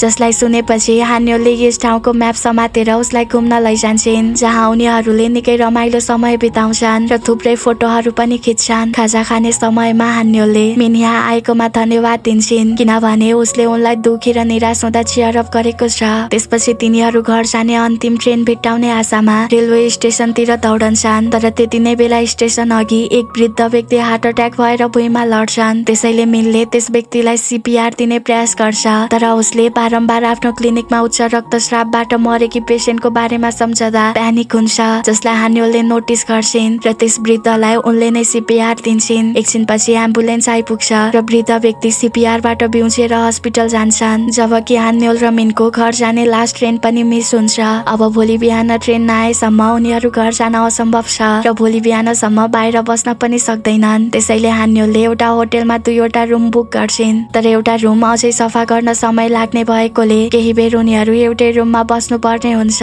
उनीहरू अप्ठ्यारो महसुस गर्दै एउटै रुममा जान्छन् जहाँ हान्योल आफू बेडमा बस्छिन् र मिनलाई पनि बस्न भन्छन्। तर हटबडाहटमा मिन बेडमा बसे भन्दा हान्योलको हातमाथि बसिदिन्छ जसले गर्दा दुवै एकअर्काको अनुहार हेरेर चुरुक्क उठ्छन् अनि अप्ठ्यारो महसुस नहोस् भनेर ड्रिङ्क पिउन थाल्छन्। हान्योलले मिन अनिन्द्राबाट ग्रसित छ कि भनेर नोटिस गर्छिन् र उसलाई सोध्छिन् पनि तर उसले हान्योललाई केही बताउँदैन। यसैबीच हान्योल राति अबेरसम्म घर नआएपछि मम चिन्तित हुँदै हान्योललाई कल लगाउँछिन् तब हान्योल आज राति यहीँ बस्ने कुरा ममलाई बताउँछिन्। ममले कल कट गरेपछि हान्योललाई चियाको कल आउँछ। चियाले इन्टरभ्यूको बारेमा सोद्धा हान्योलले सबै बताइदिन्छन् र कुरा गर्ने क्रममा उनको मुखबाट यो पनि फुत्किन्छ कि मिन पनि उनीसँगै छ भनेर यो सुनेर चियाले जिस्काउँछिन् र मिनले उनलाई मन पराउने भएकोले कम्फर्ट दिन आएको हो भन्छन् तर हान्योल बताउँछिन् कि मिन घुम्नको लागि मात्र यहाँ आएको हो। तर जियाले जिद्दी गर्दै मिन उनको लागि नै आएको हो भनेर बताएपछि उनी रिसाउँदै कल कट गरिदिन्छन्। यसैबीच मिन निदाउँछ र फेरि आफ्नो क्लिनिकमा भएको त्यही इन्सिडेन्टको बारेमा सपना देखेर आत्तिँदै उठ्छ अनि सुत्न पनि डराउँछ। तब त्यत्तिकैमा हान्योल आइपुग्छिन् र अर्को रुममा सफा भइसकेकोले अर्को रुममा सुत्न जान लाग्छिन्। तर मिनले उनलाई केही समय आफूसँगै बसेर गो गेम खेल्न आग्रह गर्छ। जुन कुरामा उनी सहमत हुन्छन् किनकि ऊ रातमा सुत्न सकिरहेको छैन भनेर उनलाई महसुस भइसकेको छ र उसको एक्लोपनलाई पनि उनले महसुस गर्दैछिन् जसको बारेमा उनी मिनसँग सोध्न चाहन्छन्। त्यसपछि उनीहरूसँगै मिलेर गो गेम खेल्छन् जसले उनीहरूको बिचमा झनै गहिरो प्रभाव पार्दै थियो। किनकि उनीहरू अझ बढी एकअर्कासँग घुलमिल र नजिक हुँदै थिए भने एकअर्काको साथमा खुसी पनि हुने गर्छन्। भोलिपल्ट बिहान मिनले हान्योललाई पहिले घर पठाउँछ किनकि सँगै घर गएमा उनको फ्यामिलीले उनीहरूलाई गलत सोच्न सक्थे तर जब उनी घर आइपुग्छिन् भाइ र ममले उनको इन्टरभ्यूको बारेमा कुरा गरिरहेको सुन्छन् जहाँ उनको भाइले ममलाई भनिरहेको थियो कि कतै हान्योल इन्टरभ्यूमा फेल भएकोले घरमा नआएकी त होइनन् यो सुनेपछि हान्योल वास्तविकताको सामना गर्नुको सट्टा फेरि घर नगई आर्केटमा जान्छन्। जब मिन घरमा फर्कन्छ तब उसले हान्योलकी मम मार्फत थाहा पाउँछ कि हान्योल इन्टरभ्यू दिन गएदेखिबाट घर फर्किएकी छैनन् भनेर। त्यसैले उसले हान्योललाई कल गर्छ र सोध्छ कि तिमी कहाँ छेउ? हान्योलले म घरमै छु भनेर उसँग झुट बोल्छिन् तर फोनबाट आएको साउन्डबाट थाहा पाइहाल्छ कि उनी अहिले कहाँ छिन् भनेर। त्यसैले ऊ तुरुन्तै उनी गेम खेलिरहेको ठाउँमा गएर उनको कान समात्छ किनकि उनले उसलाई झुट बोलिन्। तिनीहरू सँगै मिलेर गेम खेल्छन्। साँझ परिसकेपछि पनि हान्योलले घर जाने हिम्मत जुटाउन सक्दिनन्। त्यसैले मिनले उनीहरूको पुरानो हाई स्कुल हेर्न भनेर लिएर जान्छ। तब आफ्नो क्लासरुम देख्दा उनीहरूले विगतका कुराहरू सम्झन्छन्। अनि आफ्नो विगतमा फर्कन मिल्ने भए के गर्ने थिए भनेर सेयर गर्छन्। हान्योल बताउँछिन् कि यदि विगतमा फर्कन मिल्ने भए उनी फेरि कलेजको इन्ट्रान्स इक्जाम दिने थिइन्। किनकि त्यति बेला उनी बिरामी भएको कारणले इन्ट्रान्स इक्जाम बिग्रिएको थियो। जसकारण उनी आफूले चाहेको युनिभर्सिटीमा पढ्न जान पाइनन्। यो सुनेर मिनलाई दुःख लाग्छ किनभने उनले पढाइमा गरेको मिहिनेत उसले देखेको थियो। त्यसैले उनले जीवनमा धेरै सङ्घर्ष गरेकी छिन् भन्ने कुरामा सहमत हुन्छ र विगतमा फर्केर उनलाई अङ्गालो हालेर सान्त्वना दिन चाहेको बताउँछ। जसलाई सुनेर हान्योल स्तब्ध हुन्छन् त्यति नै बेला स्कुलको गार्ड आएपछि उनीहरू लुक्छन् त्यसैले गार्डले उनीहरूलाई देख्दैन। तर एकै ठाउँमा लुक्दा उनीहरू झनै एकअर्काको नजिक भएका छन्। त्यसैले दुवैजना अप्ठ्यारो महसुस गर्दै थिए। त्यसपछि हान्योल घर जान्छन्। र अन्तत आफ्नो फ्यामिलीलाई बताउँछिन् कि म इन्टरभ्यू दिन गइन किनकि म अझै तयार छैन रेस्ट गर्न चाहन्छु। उनको मम र भाइले उनको कुरालाई राम्रोसँग लिन्छन्। जसलाई देखेर हान्योल सोध्छिन् कि फेल हुनु त्यति डर लाग्दो पनि रहेनछ भोलिपल्ट टेले मिनलाई भेट्न बोलाएपछि मिन उसलाई भेट्न जान्छ। टेले मिनलाई उसको अफिसमा फेला पारेको हिडन क्यामेरा दिन्छ जुन पेनमा फिट गरिएको थियो। टे बताउँछ कि यो पेन मैले तिम्रो अफिसमा फाइल लिन जाँदा फेला पारेको थिएँ जुन मैले तिमीलाई बताउन बिर्सिएको थिएँ। त्यसपछि मेन तुरुन्तै आफ्नो क्लिनिकमा जान्छ र आफ्नो अफिस रुममा यताउता खोज तलासी गर्दा उसले त्यहाँ अर्को दुईवटा क्यामेरा पनि फेला पार्छ। त्यसपछि ऊ टेसँगै त्यो क्यामेरा लिएर पुलिस स्टेसन पुग्छ र पुलिसलाई क्यामेरा सुम्पिदिन्छ अनि पुलिसले इन्भेस्टिगेसन गरिसकेपछि उसलाई कल गर्ने बताउँछन्। त्यसैले तिनीहरू त्यहाँबाट निस्कन्छन्। बाहिर पुगेपछि मेनले टेला हान्युलसँग माफी माग्न भन्छ। किनकि उसको कारणले गर्दा हान्युलले नयाँ जबको इन्टरभ्यू नै दिन पाइनन्। मेनले हान्युलको पक्ष लिएको देख्दा टेले मेनलाई सोध्छ कि के तिमीले हान्युललाई मन पराउँछौ? तब मेन मैले हान्युललाई मन पराए पनि तिमीलाई भन्न आवश्यक छैन भनेर जवाफ दिन्छ। तर टेले उसलाई हान्युलबाट टाढा रहन भन्छ किनकि यो सही समय होइन। अर्कोतर्फ हान्युलले जियालाई रेस्टुरेन्टमा भेट्छिन् र वावन जाँदा उनले र मिनले के के गरे भनेर सुनाउँछिन्। तब जिया सोध्छिन् कि तिमीले मिन प्रतिको आफ्नो फिलिङ कन्फ्युज गर्यौ त? हान्युल बताउँछिन् कि हामीहरू साथी मात्र हौ भनेर मैले तिमीलाई कति पटक भन्नु। त्यसै पनि मिनको मनमा म प्रति फिलिङ छैन। उनको कुरा सुनेर जियाले मिनको मनमा उनी प्रति फिलिङ पक्कै पनि छ भन्छन्। किनकि केटा मान्छेले आफ्नो समय त्यस्तो मान्छेलाई खर्च गर्दैनन् या अटेन्सन दिँदैनन् जो उसलाई मन पर्दैन। त्यसपछि हान्युल मिनकै बारेमा सोच्दै घर आइपुग्छिन्। मिन पनि आफ्नो रुमतिर जाँदै गरेको देखेर उसकै पछि पछि जान्छन् र सिधै सोध्छिन् कि आखिर किन तिमीले मेरो यति धेरै केयर गर्छौ? मिनले आफ्नो फिलिङ उनलाई बताउन खोज्छ। तर त्यति नै बेला उसलाई टेले भनेका शब्दहरू याद आएपछि झुट बोल्छ कि तिमी प्रति मेरो मनमा त्यस्तो कुनै फिलिङ छैन। मैले तिमीलाई एउटा साथीको रूपले मात्र राम्रो व्यवहार गरेको हुँ। मलाई माफ गरिदेऊ मैले तिमीलाई कन्फ्युज गरिदिए। तर अबदेखि केयरफुल हुनेछु। उसको यस्तो कुरा सुनेर हान्योल लज्जित महसुस गर्छिन् किनकि उसले पनि उनलाई माया गर्छ कि जस्तो उनलाई लाग्थ्यो। त्यतिकैमा त्यहाँ भाँडाकुँडा बजेको आवाज आएपछि मिनले त्यहाँ सुकाइएको बेडसिट हटाएर हेर्छ त। त्यसको पछाडि हान्योलकी मम भाइ र मामालाई देख्छ जसले तिनीहरू बीचको सबै कुरा सुनिसकेका छन्। मिन र हान्योल दुवै तिनीहरूलाई देखेर छक्क हुन्छन्। हान्योलले घरमा आएपछि मम भाइ र मामा तिनजनालाई नै माथि छतमा गएर बेबिक्यू गरेकोमा कराउँछिन्। किनकि तिनीहरू त्यहाँ गएर आफ्नो सबै कुरा सुनेकोमा हान्योल लज्जित छिन्। रिसाएर आफ्नो रुममा जान्छन्। तब हान्योलको भाइ र मामाले नि भन्छन् कि मिनले हान्योललाई रिजेक्ट गरेर साह्रै नराम्रो गर्यो। तब हान्योलकी मम पनि मिनले मेरी छोरीलाई मन नपराउने भए किन राम्रो व्यवहार गरेर कन्फ्युज गर्यो र किन रिजेक्ट गर्यो भन्ने सोचेर झन् बढी रिसाउँछिन्। त्यत्तिकैमा हान्योल बाहिर आउँछिन् र मिन प्रति मेरो मनमा कुनै फिलिङ छैन भन्दै रिसाएर चिच्याउँछिन्। तब उनको रिस देखेर मम भाइ र मामा आफ्नो काम गर्न सुरु गर्छन्। भोलिपल्ट मेन जब घरबाट बाहिर निस्कन खोज्छ तब हान्योलकी ममले जानी जानी उसको माथि पानी हाल्ने प्रयास गर्छिन् किनभने उसले आफ्नी छोरीलाई रिजेक्ट गरी दिल दुखाएकोमा रिसाएकी छिन्। अनि जब मेन तल हान्योलको मामाको पसलमा खाना लिन जान्छ तब उनका मामाले पनि आफ्नो पसलको ढोका बन्द गरिदिन्छन् भने कन्भिनियन्स स्टोरमा उसले अन्तिम किम्बाब लिन खोज्दा त्यो किम्बाब पनि हान्योलको भाइले लिन्छ। अनि मेन घरतिर फर्किँदा बाटोमा उसको भेट हान्योलसँग हुन्छ जहाँ उनीहरूले हिजोको कुरालाई लिएर एकअर्कासँग अप्ठ्यारो महसुस नगरी पहिले जस्तै नर्मल व्यवहार गर्ने निर्णय गर्छन्। यसैबीच जिया र झङ एउटै लिफ्टमा चढ्छन्। लिफ्टमा आउँदा जियाको काँधमा किरा घुम्छ जसलाई देखेर उनी अति नै डराउँछिन्। तर त्यही भएको जङले उनको शरीरमा घुमेको किरा सहजै निकालेर फ्याँकिदिन्छ र जिया उसको किरा समात्ने क्षमताबाट प्रभावित हुन्छन्। जब उसले जियाको नेम ट्याग पढ्छ तब ऊ छक्क पर्दै उनीतिर हेर्छ। किनकि उसको युट्युब च्यानल सब्सक्राइब गर्ने फर्स्ट सब्सक्राइबर उनी नै हुन् जस्तो उसलाई लाग्छ।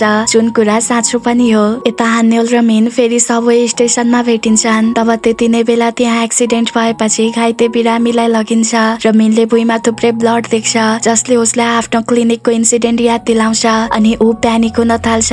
जुन कुरा हान्योलले पनि नोटिस गर्दै थिइन् उनी अब मेन्टल हेल्थ क्लिनिकमा आउँछिन् जहाँ डाक्टरले उनी पहिले भन्दा ठिक भएको जानकारी दिन्छन् र उनलाई PTSD को बारेमा पनि बताउँछन्। जुन ठुलो एक्सिडेन्टबाट गुज्रिएपछि मानिसहरूमा हुने कुरा हो भने यो मेडिकल एक्सिडेन्टबाट पनि हुन सक्छ जसबाट पीडित व्यक्तिलाई अपरेसन रुममा प्रवेश गर्दा सास फेर्न समस्या हुन्छ। अनि सर्जिकल इन्स्ट्रुमेन्ट समात्दा हातहरू काप्छन् र ब्लड देख्दा डराउने गर्छन् भनेर डाक्टरको कुरा सुनेपछि हान्योलले मिनलाई सम्झिन्छन् कि उसले रेलवे स्टेसनमा वृद्ध व्यक्तिलाई सिपिआर दिन सकेको थिएन भने ब्लड देख्दा पनि हात्तिएको थियो। त्यसैले हान्योल मिनलाई पिटिएसटी भएको रहेछ भन्ने कुरामा पक्का हुन्छन्। यसैबीच मिन निन्द्रामा हुँदा फेरि त्यही इन्सिडेन्टको बारेमा सपना देखेर आत्तिएर रुँदै उठ्छ र फ्रेस हावा लिनको लागि बाहिर छतमा जान्छ त्यहाँ उसले हान्योलको बारेमा सोच्दै गर्दा उनी पनि ठ्याक्क त्यहाँ पुग्छिन् र उनले मिनलाई झ्याप्पै अङ्गालो हालेर भन्छन् कि यो तिम्रो लागि गाह्रो भएको हुनुपर्छ।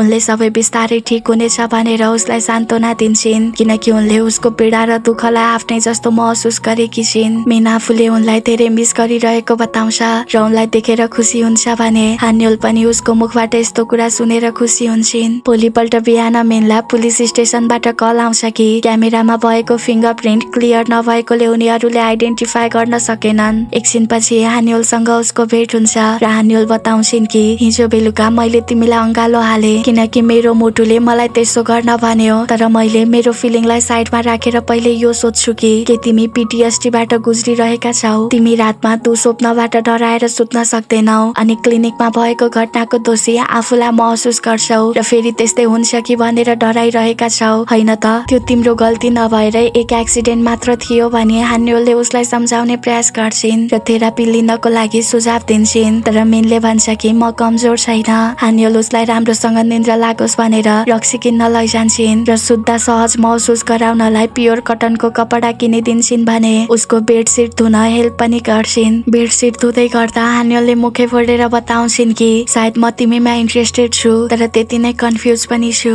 अनि यो सुनेर मेन छक्क पर्छ। अनि केही सोचेर उनीहरूले पछि आफ्नो फिलिङको बारेमा छलफल गर्ने निर्णय गर्छन्। वास्तवमा भन्नुपर्दा यी दुवैले एकअर्कालाई मन पराउँछन् तर उनीहरू दुवैजना मानसिक रूपमा अहिले कमजोर भएको कारण एकअर्कालाई केही समय दिने निष्कर्षमा पुग्छन्। ताकि यो फिलिङ फ्रेन्डसिप वाला हो या लभ वाला त्यो छुट्याउन सकुन् भनेर यसैबीच जिया हान्योललाई भेट्न घरमा आउँछिन् तब मम बताउँछिन् कि हान्योल मर्निङ वकमा गएकी छिन् भनेर तर हान्योलको भाइ त्यहाँ आई हान्योल माथि मिनसँग कपडा धुँदैछिन् भनेर बताउँछ जसलाई सुनेर मम रिसाउँदै भन्छन् रिजेक्ट भइसकेपछि पनि हान्योल त्यो मिनसँग अझै किन ह्याङ आउट गर्दैछिन्? भनेर। रिजेक्ट भएको कुरा सुनेपछि जियाले यसको बारेमा सोध्छिन् तब हान्योलको भाइले उनलाई सबै कुरा बताइदिन्छ जसलाई सुनेर जिया रिसाउँछिन्। यसबीचमा हान्योलले मिनलाई मेन्टल हेल्थ क्लिनिकमा जानको लागि सुझाव दिन्छन् तर उसले अस्वीकार गर्छ। त्यसैले उनले भन्छन् कि यदि फेरि तु स्वप्नको कारणले तिमी निदाउन सकेनौ भने मलाई गो स्टप गेम खेल्न बोलाउनु। त्यतिकैमा जिया त्यहाँ आउँछिन् र मिनलाई आँखा तारेर हेर्दै हान्योललाई आफूसँग लैजान्छन्। किनकि उसले हान्योललाई रिजेक्ट गरेको कारण उनले उसलाई देख्न रुचाएकी छैनन्। जियाले हान्योललाई घरमा लगेपछि सोध्छिन् कि मिनले रिजेक्ट गरेपछि पनि तिमी उसँग किन ह्याङ आउट गरिरहेकी छेउ? मलाई तिम्रो भाइले सबै बताइदिइसक्यो। त्यसैले अबदेखि त्यो मिनसँग घुम्न बन्द गर।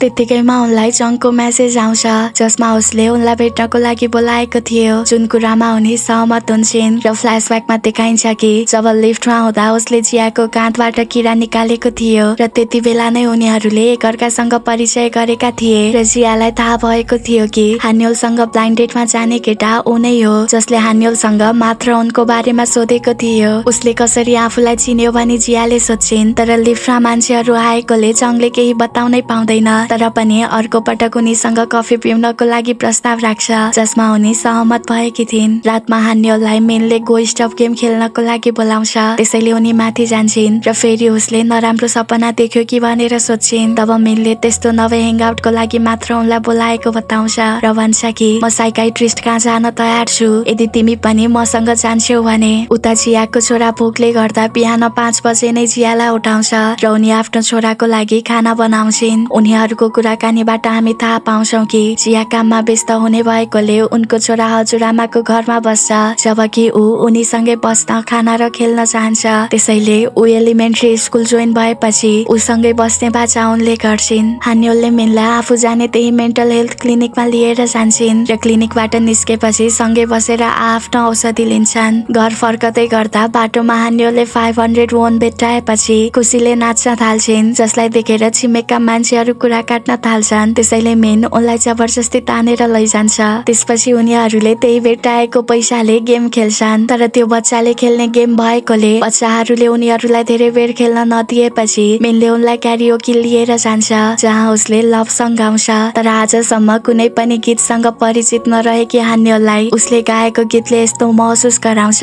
मानव उसले उनलाई आफ्नो फिलिङ कन्फेस गर्दैछ कि जस्तो। त्यसैले बारम्बार गीत चेन्ज गर्न लगाउँछिन् र घर फर्कने क्रममा यसबारे उसँग कुरा पनि गर्छिन्। तर उसले त्यो कन्फेसन नभई गीतको लिरिक्स थियो भनेर स्पष्ट पारेपछि हान्यो लज्जित हुन्छन्। अनि मेन उनलाई जिस्काउन थाल्छ। मेन भन्छ कि तिमीलाई के लाग्छ? म मेरो लभ कन्फेस क्यारियो कि जस्तो ठाउँमा गएर गर्छु होला। सायद तिमी आफ्नो जीवनभर सिङ्गल भएर धेरै अनभिज्ञ छेउ। तब हान्योल रिसाउँदै बताउँछिन् कि मैले पहिले डेट गरिसकेको छु र म पहिले निराश र हार्ट ब्रेकिङ रिलेसनसिपमा थिएँ। तर मेनले उनको कुरालाई सिरियसली नै लिँदैन। त्यत्तिकैमा तिनीहरूको हाई स्कुलकी क्लासमेट मोनले तिनीहरूलाई बोलाउँछिन्। जो क्लासमा थर्ड ऱ्याङ्कमा थिइन् र मोनले तिनीहरू दुवैलाई कफी पिउन भनेर कफी सपमा लैजान्छन् जहाँ उनले कुरा गर्छिन् कि हाई स्कुलमा हुँदा मेन र म दुवै एकअर्कामा इन्ट्रेस्टेड थियौँ भनेर उनको कुरा सुनेर मेन र हान्यल दुवैले एकअर्काको अनुहारमा हेर्छन्। हान्यल ज्यालो सुन्छन् भने मोन बताउँछिन् कि हाई स्कुलमा लन्च ड्युटीमा हुँदा उसले सबैभन्दा धेरै ससेज उनलाई नै दिएको थियो भनेर। अनि जब उनले इरेजर ल्याउन बिर्सेर उसँगै इरेजर माग्थिन् तब उसले आफ्नो पुरै इरेजर उनलाई दिने गर्थ्यो र बदमास स्टुडेन्टबाट पनि उनलाई बचाएको थियो भनेर। यो सुनेर हानुल एकदमै ज्यालो सुन्छन् र जानी जानी उसलाई लात्तीले हिर्काएर नक्कली हाँसो हाँस्छिन् मेन बाहना बनाएर बिल पे गर्न जाँदा मोनले हान्योललाई आफू मेनसँग रिकनेक्ट हुन चाहेको भने आफ्नो मन साय व्यक्त गर्छिन् जसलाई सुनेर हान्योलको त पारै तात्छ। त्यसैले मन गएपछि उनी रिसाउँदै भन्छन् त्यसो भए तिमी मोनसँग फ्लट गर्थ्यौ। मलाई चाहिँ खानामा खुर्सानी दिएर मनलाई चाहिँ सबै ससेस दिने तिमीलाई खानामा मानिसहरू बीच भेदभाव गरेकोमा सजाय दिनुपर्छ। अनि उनले रिसाएर उसको काँधमा जोडले हिर्काएर फनफनिँदै घरमा जान्छन्। र आखिर मलाई यति जेलस फिल किन भइरहेको छ भनेर सोच्न थाल्छिन्। जबकि यता मेन सोच्दै हुन्छ कि कहिले दिएछु मैले मोललाई ससेस र हिरेज अनि फ्ल्यासब्याकमा हामी मेन लन्च ड्युटीमा हुँदाको समयलाई देख्छौँ। हान्यल आएपछि ऊ फर्स्ट ऱ्याङ्कमा आउन सकेको थिएन। र त्यसैले हान्यलको जीवनलाई नर्क बनाउने कुरामा ऊ यति धेरै केन्द्रित थियो कि लन्चमा उसले हान्यलको प्लेटमा खुर्सानी मात्रै हालिदिन्थ्यो भने हान्यल पछि बसेकी मोनको प्लेटमा चाहिँ ससेस मात्र राखिदिँदो रहेछ। किनकि उसको ध्यान हान्यलतिर मात्र थियो। पछि स्टडी टाइममा जब हान्यलले इरेजर ल्याउन बिर्सेर उसँगै इरेजर माग्थिन् तब उसले आफ्नो इरेजरको सानो माको जत्रो टुक्रो काटेर दिन्थ्यो र उनीमाथि हाँस्थ्यो पनि। जबकि मनले इरेजर माग्दा उसले मनलाई पुरै इरेजर दिन्थ्यो ताकि हान्यललाई चिढाउन सकोस्। तर उसका यस्ता कार्यले मनलाई मेन आफूमा इन्ट्रेस्टेड छ जस्तो लागेको रहेछ। भोलिपल्ट हान्यललाई आफू चाहिने भन्दा बढी जेलस भएकोमा पछुतो लाग्छ र केही डम्पलिङ्स किनेर मेनसँग माफी माग्न जान्छन् र कसरी माफी माग्ने भनेर प्र्याक्टिस पनि गर्छिन्। तब त्यति नै बेला पछाडिबाट मेन आइपुग्छ अनि उनीहरूसँगै मिलेर डम्पलिङ खान बाहिर जान्छन्। अर्कोतर्फ जिया र जङ एउटा क्याफेमा भेटिन्छन् जहाँ जङले आफ्नो युट्युब च्यानलको बारेमा कुरा गर्छ र बताउँछ कि उनी उसको च्यानलकी फर्स्ट सब्सक्राइबर हुन् भनेर। उसको कुरा सुन्दा उनी छक्क पर्छिन् र उसको च्यानल चुकेर सब्सक्राइब गरेको रहेछु भनेर अनसब्सक्राइब गरिदिन्छन् जसको लागि पछि उनले माफी माग्छिन्। तिनीहरू फर्किँदै गर्दा मेनको बारेमा कुरा गर्छन्। र जङले मेनको साइड लिएर बोल्छ। जबकि जियाले मेनलाई गलत भन्छन् जसकारण जङ रिसाउँछ। तर त्यति नै बेला जियाले उसको टाउकोमा ड्रागन फ्लाइ देखेपछि त्यस ड्रागन फ्लाइलाई एउटा ग्लासमा छोप्छिन् र उसलाई स्टेसनरी स्टोरसम्म यसरी नै हिँड्न भन्छन् ताकि ड्रागन फ्लाइलाई इन्सेक्ट कन्टेनरमा हाल्न सकुन्। किनकि उनको छोरालाई इन्सेक्ट एकदमै धेरै मन पर्छ। यता पार्कमा हान्यल र मेन सँगै डम्पलिङ र बियर खाँदैछन्। हान्यलले मेनलाई बताउँछिन् कि जब तिमी र मन एकअर्कामा इन्ट्रेस्टेड थियो भनेर सुने। अनि जब मनले तिम्रो हात समातिन् तब मैले एकदमै जेलस फिल गरेकी थिएँ। र यस्तो मैले फर्स्ट टाइम फिल गरेको थिएँ। उनले अझ भन्छन् उनी उसको बारेमा सोचिरहन चाहन्छन् र उसको लागि चिन्तित पनि हुन्छन्। तब मेन आफूले पनि सेम यस्तै फिल गर्ने बताउँछ। र अघि भन्छ कि मलाई पनि तिमी मन पर्न थालेकी छेउ। तिमी मेरो लागि एक औषधि जस्तै छौ जससँग हुँदा म राम्रो महसुस गर्छु। र सायद डक्टरकोमा पिटिएसडी को लागि तिम्रै कारण गएको थिएँ। उसले आफ्नो सबै समस्याहरू समाधान गरेर मिलाइसकेपछि आफ्नो प्रेम प्रपरली कन्फेस गर्ने बाचा गर्छ र उनको टाउकोमा मायाले सुमसुम्याउँछ जसले गर्दा हानियल खुसीले मुस्कुराउँछिन्। घर फर्किँदै गर्दा मेनले आफ्नो र मनको बिचमा त्यस्तो केही थिएन भनेर बताउँछ। उसले हानियललाई यो पनि बताउँछ कि मेरो क्लिनिकमा कसैले हिडन क्यामेरा लगाएको रहेछ तर त्यो कसले गर्यो आजसम्म थाहा छैन। उसले यति भन्दै गर्दा त्यहाँ टे आइपुग्छ।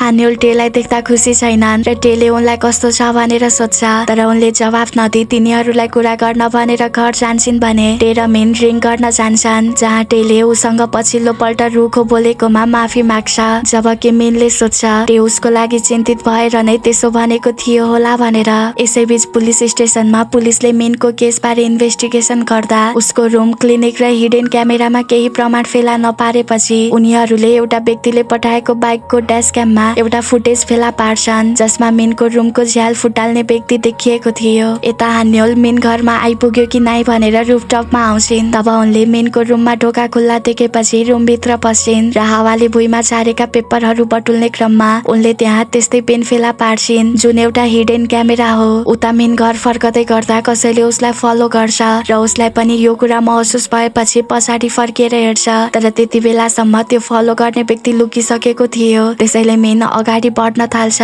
तब फेरि त्यो व्यक्तिले उसको फलो गर्न सुरु गर्छ र यसपटक मेन उसलाई समात्न सफल हुन्छ। मेनले त्यस व्यक्तिको मास्क फुकालेर अनुहार हेर्ने प्रयास गर्दै सोध्छ कि आखिर तिमी को हौ र मेरो फलो किन गरिरहेको छौ? तर ऊ केही बोल्दैन र मेनलाई पछाडि धकेलेर त्यहाँबाट भाग्छ अनि मेनले पनि उसलाई पछ्याउन सुरु गर्छ। एक ठाउँमा पुगेपछि मेनले उसलाई फेरि समातेर कुट्छ। तब त्यस व्यक्तिको खल्तीबाट सेम त्यस्तै हिडन क्यामेरा खस्छ जस्तो उसको क्लिनिक र रुममा फेला परेको छ। यो देखेर मिन छक्क पर्छ अनि चिच्याउँदै ऊ को हो? भनेर सोध्छ र उसको अनुहार हेर्न मास्क खोल्न खोज्छ तर उसले सिसाको बोतलले मिनको टाउकोमा हिर्काएर भाग्छ। जसकारण मिनको टाउकोमा चोट लागेर रगत बग्छ र उसलाई समात्न असफल हुन्छ। यसबीचमा हान्यलले मिनको रुममा फेला पारेको पेन हेरिरहँदा उनको भाइ त्यहाँ आइपुग्छ र उनको हातमा त्यस पेनलाई देखेपछि बताउँछ कि यो त स्पाई क्यामेरा हो भनेर। यो सुनेर हान्यललाई मिनले आफ्नो क्लिनिकमा कसैले हिडन क्यामेरा लुकाएको थियो भन्ने याद आउँछ र उनले तुरुन्तै उसलाई कल गरेर ऊ कहाँ छ भनी सोध्छिन्। मिन पुलिस स्टेसनमा हुन्छ र आफूलाई फलो गर्ने व्यक्तिको पहिचान गर्न त्यस झगडा भएको ठाउँको सिसिटिभी फुटेज चेक गर्छ तर केही फेला पर्न सकेन। पुलिसले उसलाई ड्यास क्याम फुटेज देखाएपछि थाहा हुन्छ कि उसको घरमा छिरेको त्यो चोर र उसलाई फलो गर्ने व्यक्ति एउटै हो भनेर। केही समयमा नै हान्योल पनि पुलिस स्टेसन आइपुग्छिन् अनि उसको रुमको टेबल तल फेला पारेको पेन यानि कि हिडन क्यामेरा दिन्छन् जसलाई देखेर ऊ छक्क पर्छ। किनकि आफ्नो रुममा घुसेर कसैले यसरी क्यामेरा लुकाउँछन् भन्ने उसले सोचेको पनि थिएन। त्यस दिन आफ्नो रुमको झ्यालको सिसा फुटाएर मास्कवाला व्यक्ति यही क्यामेरा राखेर गएको रहेछ भन्ने कुरा पनि मिनले अब स्पष्ट रूपमा अनुमान लगाउन सक्छ। डिटेक्टिभले त्यो स्पाई क्यामेरा सबै चेक गर्छन् तर पानीको कारण स्पाई क्यामेरा खराब भएकोले त्यसभित्रको डाटा रिकभर गर्न सकिँदैन। त्यसपछि हान्योल र मेन पुलिस स्टेसन बाहिर आउँदा मेन चिन्तित हुन्छ र हान्योलले उसको टाउकोबाट रगत बगिरहेको देखेपछि हस्पिटल लिएर जान्छन् अनि सिटी स्क्यान गर्न लगाउन खोज्छिन्। तब डाक्टरले उसको चोट गहिरो नभएकोले सिटी स्क्यान गर्न नपर्ने बताउँछन् तर हान्योल अचानक रुन थाल्छिन् र भन्छन् कि मैले सोचेको थिएँ कि त्यो दिन तिमीले सर्जरी गर्दा संयोगवश एक्सिडेन्ट भएको होला भनेर तर कसैले तिमीलाई फसाउन टार्गेट गरेको रहेछ। उसको शारीरिक चोट भन्दा भावनात्मक चोटको बारेमा चिन्तित हुने मिनले यो सब कसरी सहेर बसेछ भनेर सोध्छिन् र उसलाई सान्त्वना दिँदै उसको ढाडमा थपथपाउँछिन्। घर फर्कदै गर्दा उनी रोन छाड्छिन् र रोएकोमा लज्जित उनले त्यो सबै डिप्रेसनको कारणले अचानक निस्केको आँसु थियो भनेर बहाना बनाउँछिन्। अनि भन्छन् कि जब तिम्रो केस सेटल हुनेछ तब तिमी र म मुभी हेर्न जाउँला किनकि म आफूलाई मन पर्ने व्यक्तिको छेउमा बसेर पपकर्न खान चाहन्छु। मेन उनको कुरा सुनेर मुस्कुराउँछ। भोलिपल्ट जङ कफी ब्रेकमा बाहिर बसेर मेनको केसको बारेमा न्युज हेरिरहँदा जिया त्यहाँ आउँछिन् र हिजो उसले ड्रागन फ्लाइ समात्न हेल्प गरेकोले धन्यवाद दिन्छन्। यता हान्युलकी ममले आफ्नो फ्रिजमा राखेको खाना र साइड डिसेस गायब भएको देख्छिन् र यो सबै आफ्नो छोराले चोरेको हुनुपर्छ भनेर उसलाई दोष लगाउँछिन्। तर वास्तवमा खाना चोर्ने चोर हान्युल रहेछन् जसले मिनको लागि कपडामा लगाउने आइरन र खाना चोरेर उसको रुममा गएकी छिन् किनकि आज उसको केसको तेस्रो सुन्नु आयो। उनले उसको लागि खाना तयार पार्छिन् र उसको टाई राम्रोसँग मिलाएर लगाइदिन्छन्। तब आफूहरू बीचको निकटतामा दुवैले केही नर्भस फिल गर्छन्। त्यसपछि कोर्टको तेस्रो सुनुवाईमा जानको लागि दुवैले घर बाहिर भेट्ने निर्णय गर्छन्। हान्योलकी ममले हराइरहेको खाना र आइरनको बारेमा छोरासँग सोधपुछ गरिरहँदा हान्योल त्यहाँ आइपुग्छिन्। तब हान्योलको भाइ आफूले चोरी नगरेको बताउँछ। र भन्छ कि सायद हान्योल मिनको मायामा पागल भएर उनले आइरन उसको सर्ट प्रेस गर्न लगिन् र खाना पनि उसलाई खुवाइन् होला किनकि आज उसको कोर्टको सुनवाई हो भन्ने मैले सुनेको छु। तर हान्योलकी मम आफ्नी छोरीले त्यस्तो गर्न नसक्ने बताउँछिन् र उल्टै उसलाई कुट्छिन्। पछि ऊ ममको हातबाट कुटाइ खाएर हान्योलको रुममा आइपुग्छ र आफूले खाना चोरी नगरेकोले उसलाई थाहा छ कि यो सब हान्योलको काम हो भनेर त्यसैले सत्य प्रमाणित गर्न मिनको रुममा चेक गर्न जान खोज्छ। तर हान्योलले उसलाई रोक्छिन् अनि केही केही पैसा दिएर उसको मुख बन्द गराउँछिन्। सुनुवाईको लागि कोर्ट जान पाएर मिनले हान्योलाई कुरिरहेको हुन्छ र च्याङलाई कल गर्ने प्रयास पनि गर्छ जो सर्जरीको क्रममा उसँगै थियो। तर च्याङले पुलिसमा गएर स्टेटमेन्ट दिन पनि अस्वीकार गरेको थियो। त्यसैले मिनलाई ऊ माथि शङ्का छ। त्यति नै बेला उसले कसैलाई देख्छ तर कसलाई देख्यो त्यो भने हामीलाई देखाइँदैन। जब हान्योल बाहिर आउँछिन् उनले बाहिर मिनलाई देख्दिनन् र रोडमा मिनको मोबाइल फेला पार्छिन् अनि तुरुन्तै कोर्टतिर जान्छन् र सुनवाईको लागि तिस मिनट बितिसक्यो। र मिनको लयरले मिनलाई कल गर्छन् तर सम्पर्क हुन सक्दैन। तब त्यति नै बेला हान्योल कोर्टमा उपस्थित हुन्छन् र मिनलाई कोर्टमा नभेट्दा निराश हुन्छन्। मिन कोर्टमा उपस्थित नभएपछि मिनको लयरले जजलाई सुनवाई पोस्टपोन गरिदिन अनुरोध गर्छन् तर उही समयमा मिन नयाँ प्रमाणका साथ कोर्टभित्र आइपुग्छ र लयरलाई त्यो प्रमाण दिन्छ। फ्ल्यासब्याकमा देखाइन्छ कि अघि मिनले घर अगाडि कारमा च्याङलाई देखेको रहेछ र च्याङलाई समात्न खोज्दा नै उसको मोबाइल भुइँमा खसेको थियो र च्याङको कार एउटा बाइकको कारण एक ठाउँमा गएर ठोकिएकाले नै मिनले उसलाई समात्न सफल भएको रहेछ। च्याङले मिनलाई निर्दोष साबित गर्ने प्रमाण भएको पेनड्राइभ दिन्छ र यहाँ खुलासा हुन्छ कि वास्तवमा च्याङले मिनलाई यी प्रमाणहरू धेरै पहिलेदेखिबाट दिन चाहन्थ्यो तर डराइरहेको थियो। च्याङले नै ती सबै हिडन क्यामेरा फिट गरेको रहेछ किनकि एकपटक ऊ अर्को हस्पिटलमा काम गर्दा अरूको गल्तीले एउटा पेसेन्टको ज्यान गएको थियो। तर त्यो एक्सिडेन्टको लागि उसलाई बलिको बोका बनाइयो। त्यसैले उसले आफूलाई जोगाउन त्यहाँ क्यामेरा फिट गर्यो। ताकि त्यस्तो फेरि नदोहोरियोस् भनेर हिडन क्यामेरामा कैद फुटेजमा दुई अपरिचित पुरुषहरूले आइभीसँग छेडछाड गर्दै एन्टी कोआगुलेन्स मिसाउँदै गरेको देखाइन्छ। जुन आइभी त्यही मकावाली पेसेन्टलाई दिएको थियो अनि सम्पूर्ण फुटेज र प्रमाणबाट यो खुलासा हुन्छ कि त्यो अपराधी उनकै अङ्कल रहेछन् किनकि उनको ड्याडले सम्पूर्ण सम्पत्ति उनको नाममा गरेर मरेपछि उनका अङ्कल रिसाएर त्यति नै बेला उनलाई मार्ने प्लान गरेका थिए। वास्तविक अपराधी त अरेस्ट हुन्छ तर यी सबै घटनामा बिना कारण मुछिएको मिनको जीवन तहस नहस भइसकेको छ। हान्योले उसलाई टाढाबाट हेर्छिन् र उसले अनावश्यक असफलता र निरसताको सामना गर्नु परेकोले उसलाई निको हुन केही समय लाग्नेछ भनेर सोध्छिन्। यो सबको दोष कसलाई दिने थाहा छैन र मिन निर्दोष रहेछ भनेर थाहा पाएपछि एडभर्टाइजर्स प्रोडक्ट कम्पनीज जर्नलिस्ट उसका हाई स्कुल साथी र उसका मम ड्याड पनि सहानुभूति देखाउँदै उसलाई मेसेज र कल गर्छन्। जो हिजोको दिनमा उसको विरुद्ध थिए। फ्ल्यासब्याकमा हामीलाई मेन एलिमेन्ट्री स्कुलमा हुँदाको पल देखाइन्छ। जब क्लासमा सबै बच्चाहरूको किडनी बिन्स अङ्कुराउन थाल्छ तर उसको किडनी बिन्स नअङ्कुराउँदा ऊ निराश देखिन्छ र आफू असफल भएको महसुस गर्छ। अरूको बिन्समा हाँगा हाल्दा उसको बिन्स बल्ल अङ्कुराउन थाल्यो र हरेक दिन त्यस बिरुवालाई उसले घाम आउने एरियामा राख्थ्यो। तब उसकै क्लासमेट रहेकी एक सानी केटी उसको बिन्स नबढेकोमा आफूलाई नराम्रो लागेको बताउँछिन्। तब उसले झुट बोलिदिन्छ कि मलाई किडनी बिन्स ग्रो भएको मन पर्दैन भनेर तर ऊ आफ्नो किडनी बिन्स नअङ्कुराएकोमा रुँदै घर गयो किनकि उसले एक्लो र दुखी महसुस गरेको थियो। त्यसपछि हाई स्कुल स्टुडेन्ट हुँदासम्म ऊ टप स्टुडेन्टमा पुग्यो तर हान्यो आएपछि उसको ऱ्याङ्क घट्यो। जब उसले आफ्नै ममलाई रिपोर्ट कार्ड देखाउँछ तब मम रिसाउँदै ऊ असफल भएकोमा कराउँछिन् र आफ्नो बिजनेस ट्रिपको लागि जान्छन्। त्यति बेला उसले बुझ्यो कि केही चिजहरू उसको कन्ट्रोल भन्दा बाहिर छन्। उसले आफ्नो जीवनमा चाहेको मात्र एउटा परिवार थियो जसले उसको हेरचाह गरोस् र उसलाई विश्वास गरोस् तर पनि उसका यी चाहनाहरू कहिल्यै पुरा भएनन्। किनकि उसका मम ड्याडले ऊतिर कहिल्यै ध्यान दिएनन्। सिन वर्तमान समयमा सिफ्ट हुन्छ। ऊ एक्लै रुमभित्र मात्र बसेको तिन दिन भइसकेपछि हान्युल छतमा फुलहरूलाई पानी हाल्ने बाहना बनाएर जान्छन्। तब उनले आफ्नो भाइ मम र मामालाई छतमा बिबिक्यू गरिरहेको देखेर छक्क पर्छिन् र उनीहरू पनि मिनलाई रुमबाट बाहिर ल्याउन यस्तो गरिरहेका छन्। हान्युलको भाइले मिनलाई जबरजस्ती बाहिर तानेर ल्याउँछ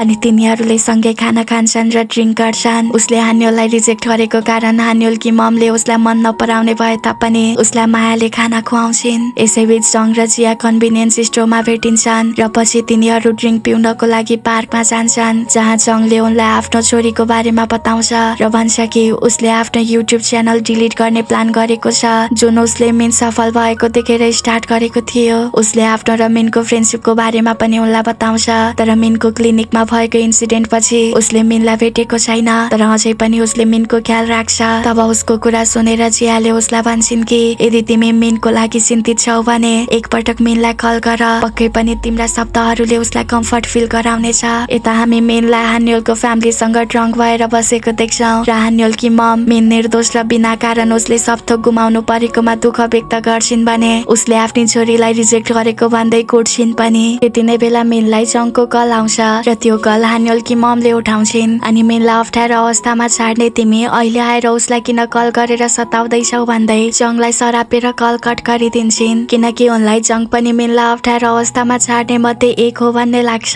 हानियोलकी ममको कुराले जङ अपसेट हुन्छ तर उसले यो सबैको दोष जियालाई दिन्छ। यो भनेर कि तिमीले नै मलाई मिल्ला कल गर्न भनेर फोर्स गरेकी थियौ? हान्योलकी मम भाइ र मामा धेरै ड्रङ्क भएर अनेकौं हरकत देखाएपछि हान्योलले मिनलाई बाहिर वकमा हिँड्न जान भन्छन्। त्यसैले पछि उनीहरू बाहिर जान्छन् जहाँ मिनले ड्रिङ्कको लागि उनलाई रेस्टुरेन्टमा लिएर जान्छ। हान्योल बाहेक आफ्नो कुरा सुन्ने कोही नभएकोले मिनले उनीसँग आफ्नो दुःख पुग्छ र उसले अन्तत उनलाई मन पराउने कुरा पनि स्वीकार गर्छ अनि ड्रङ्क भएर बारम्बार उनको सामु आफ्नो लभ कन्फेस गरिरहन्छ। त्यसपछि तिनीहरू बाहिर पार्कमा जान्छन् जहाँ मिनले हान्योलाई सधैँ खुसी बनाउने भनेर आकाशको चन्द्रमासँग प्रार्थना गर्छ र फेरि आफ्नो लभ कन्फेस गर्छ भने अघि उसले भन्छ कि तिमी मेरो किडनी बिन हौ जसलाई मैले अङ्कुराएको हेर्न पर्खिरहेको छु। मैले मेरो जीवनमा एउटा यस्तो मान्छे चाहन्थे जसले मलाई विश्वास गरोस् र त्यसपछि तिमी मेरो जीवनमा आयो। मिन मुस्कुराउँछ र हान्योलसँग उनको हात समात्न अनुमति माग्छ जसमा उनी सहमत हुन्छन् अनि दुवैजना एकअर्काको हात कसिलोसँग समातेर आकाशको जुन हेर्दै आफ्नो प्रेम व्यक्त गर्छन्। सधैँ अध्ययनमा ध्यान दिने हान्योल आजकल मस्किँदै मोबाइलमा कसैसँग च्याट गरिरहेको देख्दा उनको भाइ अचम्म पर्छ। आज भोलि उनी पपुलर डेटिङ स्पट्सको खोजीमा भाइको मोबाइल खोज्ने गर्छिन् किनकि उनको भाइ यस्तो डेटिङ जस्तो कुरामा च्याम्पियन छ। उनको भाइलाई उनको व्यवहारहरू अनौठो लाग्छ र सोध्छ कि सायद हान्योलले कसैलाई डेट गरिरहेकी छिन् भनेर। त्यसैले ऊ हान्योललाई यस बारेमा केही एडभाइस चाहिन्छ कि भनेर सोध्न पनि जान्छ र उनको ध्यान भट्काउँदै उनको वालेट छोडेर बाहिर निस्कन खोज्छ। तर हान्योलले त्यो नोटिस गरेर उसलाई समातिहाल्छिन् अनि आफ्नो वालेट फिर्ता लिएर अबदेखि उसलाई एक पैसा पनि नदिने बताउँछिन्। त्यसपछि हान्योल सोच्न थाल्छिन् कि हिजो राति मिनले धेरै पटक लभ कन्फेस गरेको थियो र उनको हात पनि समातेको थियो भनेर। तर दुवैले हात समाते पनि यो उनीहरूको डेटिङ हो भनेर बताएका थिएनन् जसकारण हान्योल कन्फ्युज हुन्छन्। त्यसैले उनी आफ्नै मम र मामा कहाँ गएर सोध्छिन् कि यदि दुईजनाले नै लभ कन्फेस गरेर हात समात्छन् भने त्यसलाई डेटिङ भन्न मिल्छ कि मिल्दैन? उनीहरूले आफ्नो जवाफ दिन्छन् तर हान्योल उनीहरूको जवाफबाट असन्तुष्ट महसुस गर्छिन् किनकि तिनीहरूको डेटिङ गर्ने तरिका नै पुरानो जमानाको छ। उनले मामासँग कुरा गरिरहँदा उनको भाइ पनि त्यही बाडा माझ्दै रहेछ र उसले हान्योलको कुरा सुनेको हुन्छ। त्यसैले सोध्छ कि के तिमी रुफटपको केटा मिनको बारेमा कुरा गर्दैछौ हान्योलले झुट बोल्छिन् कि यो मेरो साथीको बारेमा सोधिरहेको थिएँ तर उनको भाइलाई त उनीमाथि शङ्का भइसकेको छ। त्यसपछि हान्योल मिनसँग कुरा गर्नको लागि छतमा जान्छन् तर उनले केही सोध्न नपाउँदै त्यहाँ हान्योलको भाइ आइपुग्छ। त्यसैले हान्योल बाथरुम भित्र गएर लुक्छिन्। उनको भाइ भित्र बसेर मिल्ला भन्छ कि आज केटा केटाको कुरा हुन्छ। तिमीले मेरो दिदीलाई डेट गर भने मैले सल्लाह दिँदा यो अलि लाज मर्दो होला तर तिमीले मेरी दिदीलाई खेलाउन जस्तै खेलाइरहेको छौ र कन्फ्युज गरिरहेको छौ। तिमी उनीसँग सोक्छौ र वावन गयौ अनि उनको हात समात्यौ तर पनि तिमी र हान्योल जस्ट फ्रेन्ड मात्र हौ भनेर कसरी भन्न सक्छौ? मिना आफूले हान्योललाई कहिले खेलाउन जस्तो नखेलाएको बताउँछ। तब हान्योलको भाइले सोध्छ कि त्यसो भए तिमीले उनको हात किन समातेको थियौ त? उनी यति धेरै कन्फ्युज थिइन् कि उनले आफ्नो साथीको बाहना बनाएर मसँग एडभाइस लिन आएकी थिइन्। जबकि उनको त कुनै फ्रेन्ड नै छैन। बाथरुम भित्रबाट हान्योलले आफ्नो भाइको कुरा सुन्दा खुब रिसाउँछिन्। अनि उनको भाइले मिल्ला बताउँछ कि मैले सुनेको छु हिजो तिमीले लभ कन्फेस गरी हात पनि समात्यौ तर उनलाई अफिसियल्ली रूपमा डेट गरिरहेको हो भनेर कहिल्यै भनेको छैनौ। त्यसैले उनको लागि यो कति पीडादायी भएको होला आफै कल्पना गर। हान्योल तिमीसँग डेटमा जानको लागि मर्दै छिन् त्यसैले पागल चाहिँ सबैसँग सोधिरहेकी छिन्। यो सुनेर मिन मुस्कुराउँछ भने हान्योलको भाइले उसलाई हान्योलसँग डेटमा जान भन्छ। तब मिन बताउँछ कि हामीहरू हिजोदेखिबाट डेट गर्दैछौ। यो सुनेर हान्योलको भाइ छक्क पर्छ भने बाथरुममा भएकी हान्योल पनि छक्क पर्दै उठ्छिन्। तब उनी उठ्ने क्रममा बाथरुमको धारा खोलिएपछि उनी पुरै पानीले भिज्छिन् र जसो तसो गरी धारा बन्द गर्छिन्। पानीको आवाजले हान्योलको भाइ बाथरुम चेक गर्न जान खोज्छ तर मिनले उसलाई रोकिहाल्छ र आफू हान्योलसँग कुरा गर्ने भएकोले उसलाई घर जान भन्छ। तब हान्योलको भाइ पनि मिनलाई हान्योलको ख्याल राख्छ भनेर जान्छ। त्यसपछि मिन बाथरुम गएर हान्योललाई उठाउँछ र बाहिर ल्याउँछ। तब हान्योल सोध्छिन् कि के साँच्चै हामीहरू डेट गरिरहेका छौँ। मिनले उनलाई फेरि एकपटक आफ्नो लभ कन्फेस गरेर भन्छ कि हामीहरूले हिजोबाटै डेट गरेका हौ। हान्योल खुसीले मुस्कुराउँछिन् अनि मिनले उनलाई आफ्नो कपडा दिन्छ र उनले भिजेको कपडा चेन्ज गर्छिन्। त्यसपछि मिनले उनलाई बुके दिन्छ अनि उनलाई आफूसँग डेटमा जान आग्रह गर्दै आफ्नो अङ्गालोमा तान्छ। अर्कोतर्फ जङले मिनलाई कल गर्ने बारेमा सोच्दै गर्दा जिया त्यहाँ आइपुग्छिन् र हिजो मिनलाई कल गर्न भनेर उसलाई फोर्स गरेकोमा माफी माग्छिन्। तब जङले त्यो सबै मिसअन्डरस्ट्यान्डिङ थियो भनेर बताउँछ। र भन्छ कि हिजो मलाई मिनको फोनबाट एक महिलाले श्राप दिएकी थिइन्। लाग्छ त्यो मिनकी गर्लफ्रेन्ड थिइन्। तर आवाज सुन्दा अलि म्याच्योर थियो। उसको कुरा सुनेपछि जियाले त्यो मिनको गर्लफ्रेन्ड नभई हान्युलकी मम हुन सक्छिन् भनेर बताउँछिन्। उनले कुरै कुरामा उसलाई मिन आफ्नै साथी हान्युलको घरमा बस्छ भनेर पनि जानकारी दिन्छन्। त्यसैले जङ भाग्दै मिनलाई भेट्न जान्छ र झ्याप्पै अङ्गालो हाल्छ। जबकि यति बेला हान्युल र मिन डेटमा जान तयार भएर निस्किएका थिए। हान्युलले उसलाई देखेपछि चिनिहाल्छिन् र सोध्छिन् कि तिमी त त्यही मेरो फर्स्ट ब्लाइन्ड डेटवाला केटा होइनौ र जङ बताउँछ कि जियाले मलाई सबै कुरा एक्सप्लेन गरिसकेकी छिन् र उनले नै मलाई मिन यहाँ बस्छ भनेर बताएकी थिइन्। यो सुनेर मिनले हान्युल अस्ति जङसँग ब्लाइन्ड डेटमा गएकी रहेछन् भनेर थाहा पाउँदा छक्क पर्छ। हान्युलले जङ र मिनलाई एक्लै कुरा गर्न छाडिदिन्छन् ताकि उनीहरू बीचको फ्रेन्डसिप पहिलेको जस्तै होस् भनेर।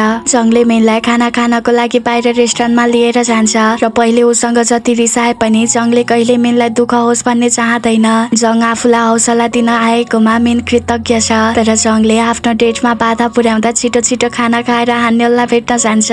हान्यल पनि ऊ आउने पर्खाइमा नै बसिरहेकी थिइन् र जब उनीहरू डेटमा जान लाग्छन् तब फेरि उसलाई टेले कल गरेर भेट्नको लागि बोलाउँछ। तर हान्यलसँग डेटमा जान आतुर मिनले आफू अहिले व्यस्त भएकोले टेसँग पछि भेट्ने बताएर कल कट गर्छ र खुब रमाएर उफ्रदै हान्यलसँग डेटमा जान्छ। यति एक्साइटेड मिनको डेटलाई हान्यलले खराब गर्छिन् किनकि उनले लाइब्रेरी र बुक क्याफे जस्ता ठाउँहरूमा लगेर पढ्ने र लेख्ने बारेमा बताउन थाल्छिन् जसले गर्दा बिचारो मिन हैरान हुन्छ अनि उनलाई मुभी हेर्नको लागि लैजान्छ जहाँ उनीहरूले निकै रमाइलो र मनमोहक समय बिताउँछन्। उनीहरूले थुप्रै गेम खेल्छन् फोटोहरू खिच्छन् अनि त्यसपछि डिनरको लागि रेस्टुरेन्टमा जान्छन् मिनले हान्यललाई सोध्छ कि आखिर तिमीले हस्पिटलको जब किन छोडेकी थियौ? के त्यहाँ केही भएको थियो र यो सुनेर हान्योले केही भएको थिएन भने झुट बोलिदिन्छन्? तर मिनलाई उनले आफूसँग केही लुकाउँदैछिन् भनेर महसुस भइसकेको थियो। यसैबीच टेला हामी हान्योलको घर अघि देख्छौँ। जब हान्योल र मिन घरमा आइपुग्छन् तब मिनले आफ्नो रुमको ढोका अगाडि टेको विवाहको कार्ड फेटाउँछ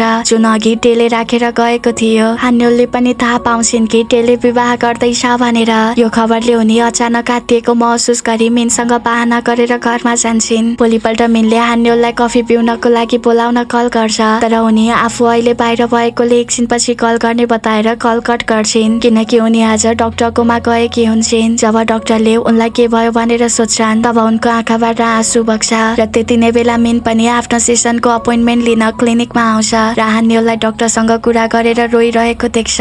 हान्योलले डाक्टरलाई बताउँछिन् कि मैले क्लासमा फर्स्ट र्याङ्क प्राप्त गरेँ कठिन समस्या समाधान गरेँ र पिई इक्जाममा राम्रो गरेँ जुन मेरो खुसीको चरम सीमा थियो। तर त्यति नै बेला ड्याड बित्नु भयो त्यस बेलादेखिबाट मैले जहिले पनि चिन्तित डर लाग्दो र दोषी महसुस गर्ने गर्छु। जब म धेरै खुसी हुने गर्छु त्यसपछि हान्योल ट्याक्सीमा चढेर जाँदा मेन सोध्छ कि आखिर उनी यति निराश किन छिन्? अनि मेन जङको क्लिनिकमा जान्छ जहाँ जङले मेनलाई आफ्नो क्लिनिकमा काम गर्ने प्रस्ताव गर्छ तर मेनले त्यसलाई स्वीकार्दैन। किनकि उसले काम पाएमा हान्योलले निराश र आफैलाई बेरोजगार महसुस गर्ने छिन् भन्ने उसलाई थाहा छ। मेन घरमा जान साथ हान्योलकी ममले उसलाई तानेर खाना खानको लागि आफ्नो घरमा लिएर जान्छन्। तब हान्योलको भाइले उसँग कुरा गर्नु छ भन्दै उसलाई हान्योलको रुममा लिएर जान्छ र सोध्छ कि के तिमीले हान्योललाई राम्रोसँग प्रपोज गर्यौ? मिनले अहिलेसम्म गरेको छैन भनेर जवाफ दिएपछि हान्योलको भाइले प्रपोज गर्ने तरिकाहरू सिकाउँछ। जुन तरिका उसलाई कति पनि मन पर्दैनन् त्यसैले हान्योलको भाइले नजिकै राखेको बुक उठाएर यसरी प्रपोज गर्नुपर्छ भनेर सिकाउन थाल्छ।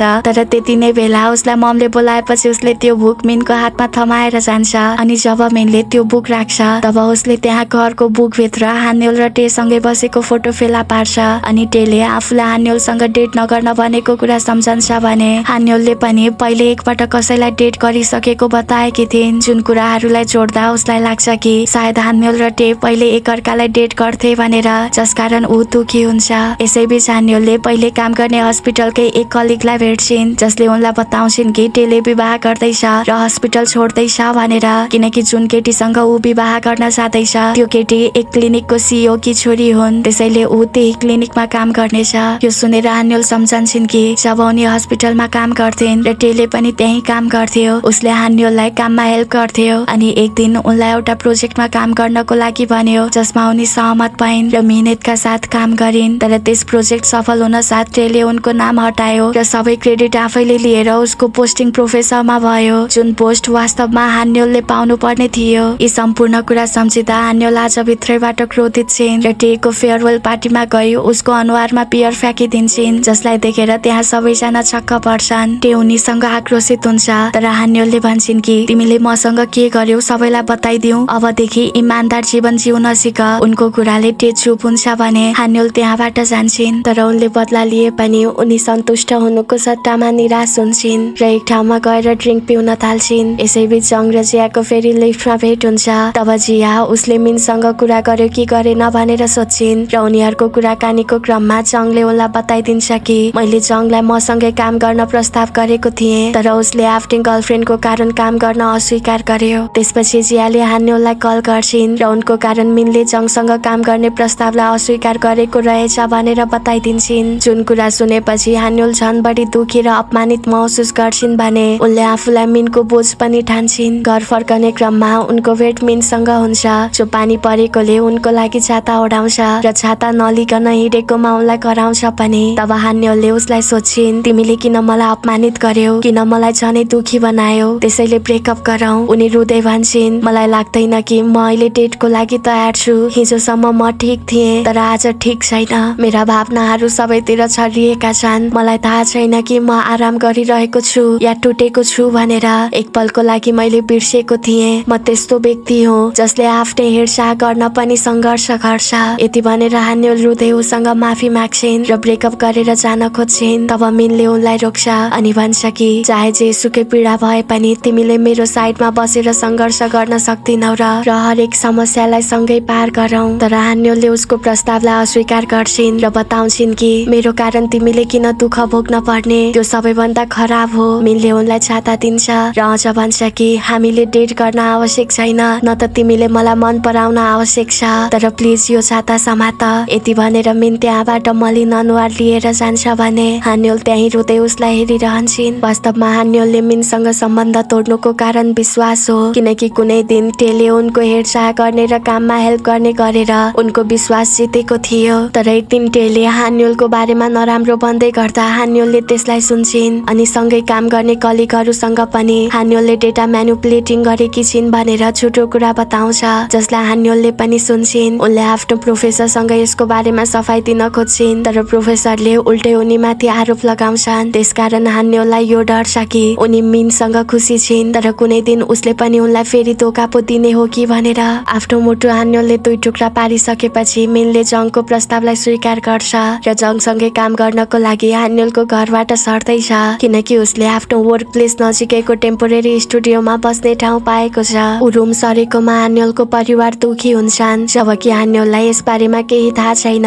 र जब उनी बिहानै उठ्छिन्। आफ्नो भाइ र आमाबाट थाहा पाउँछिन् कि मिनले यो घर छोड्यो भनेर। तर उनले तिनीहरूको अघि आफूलाई पहिले नै यसबारे थाहा भएको बहाना गर्छिन्। किनकि उनीहरूले उनी र मिनको बीचमा झगडा भएको हो कि भन्ने शङ्का गर्दै थिए। हान्योललाई देख्दा उनीहरूले उनको र मिनको ब्रेकअप भएको छ भनेर बुझ्छन्। मिन घरबाट जाँदा उनले झ्यालमा बसेर ऊ गएको हेरिरहन्छन् र दुखी हुन्छन् भने मिन पनि उदास अनुहार लिएर जाँदै हुन्छ।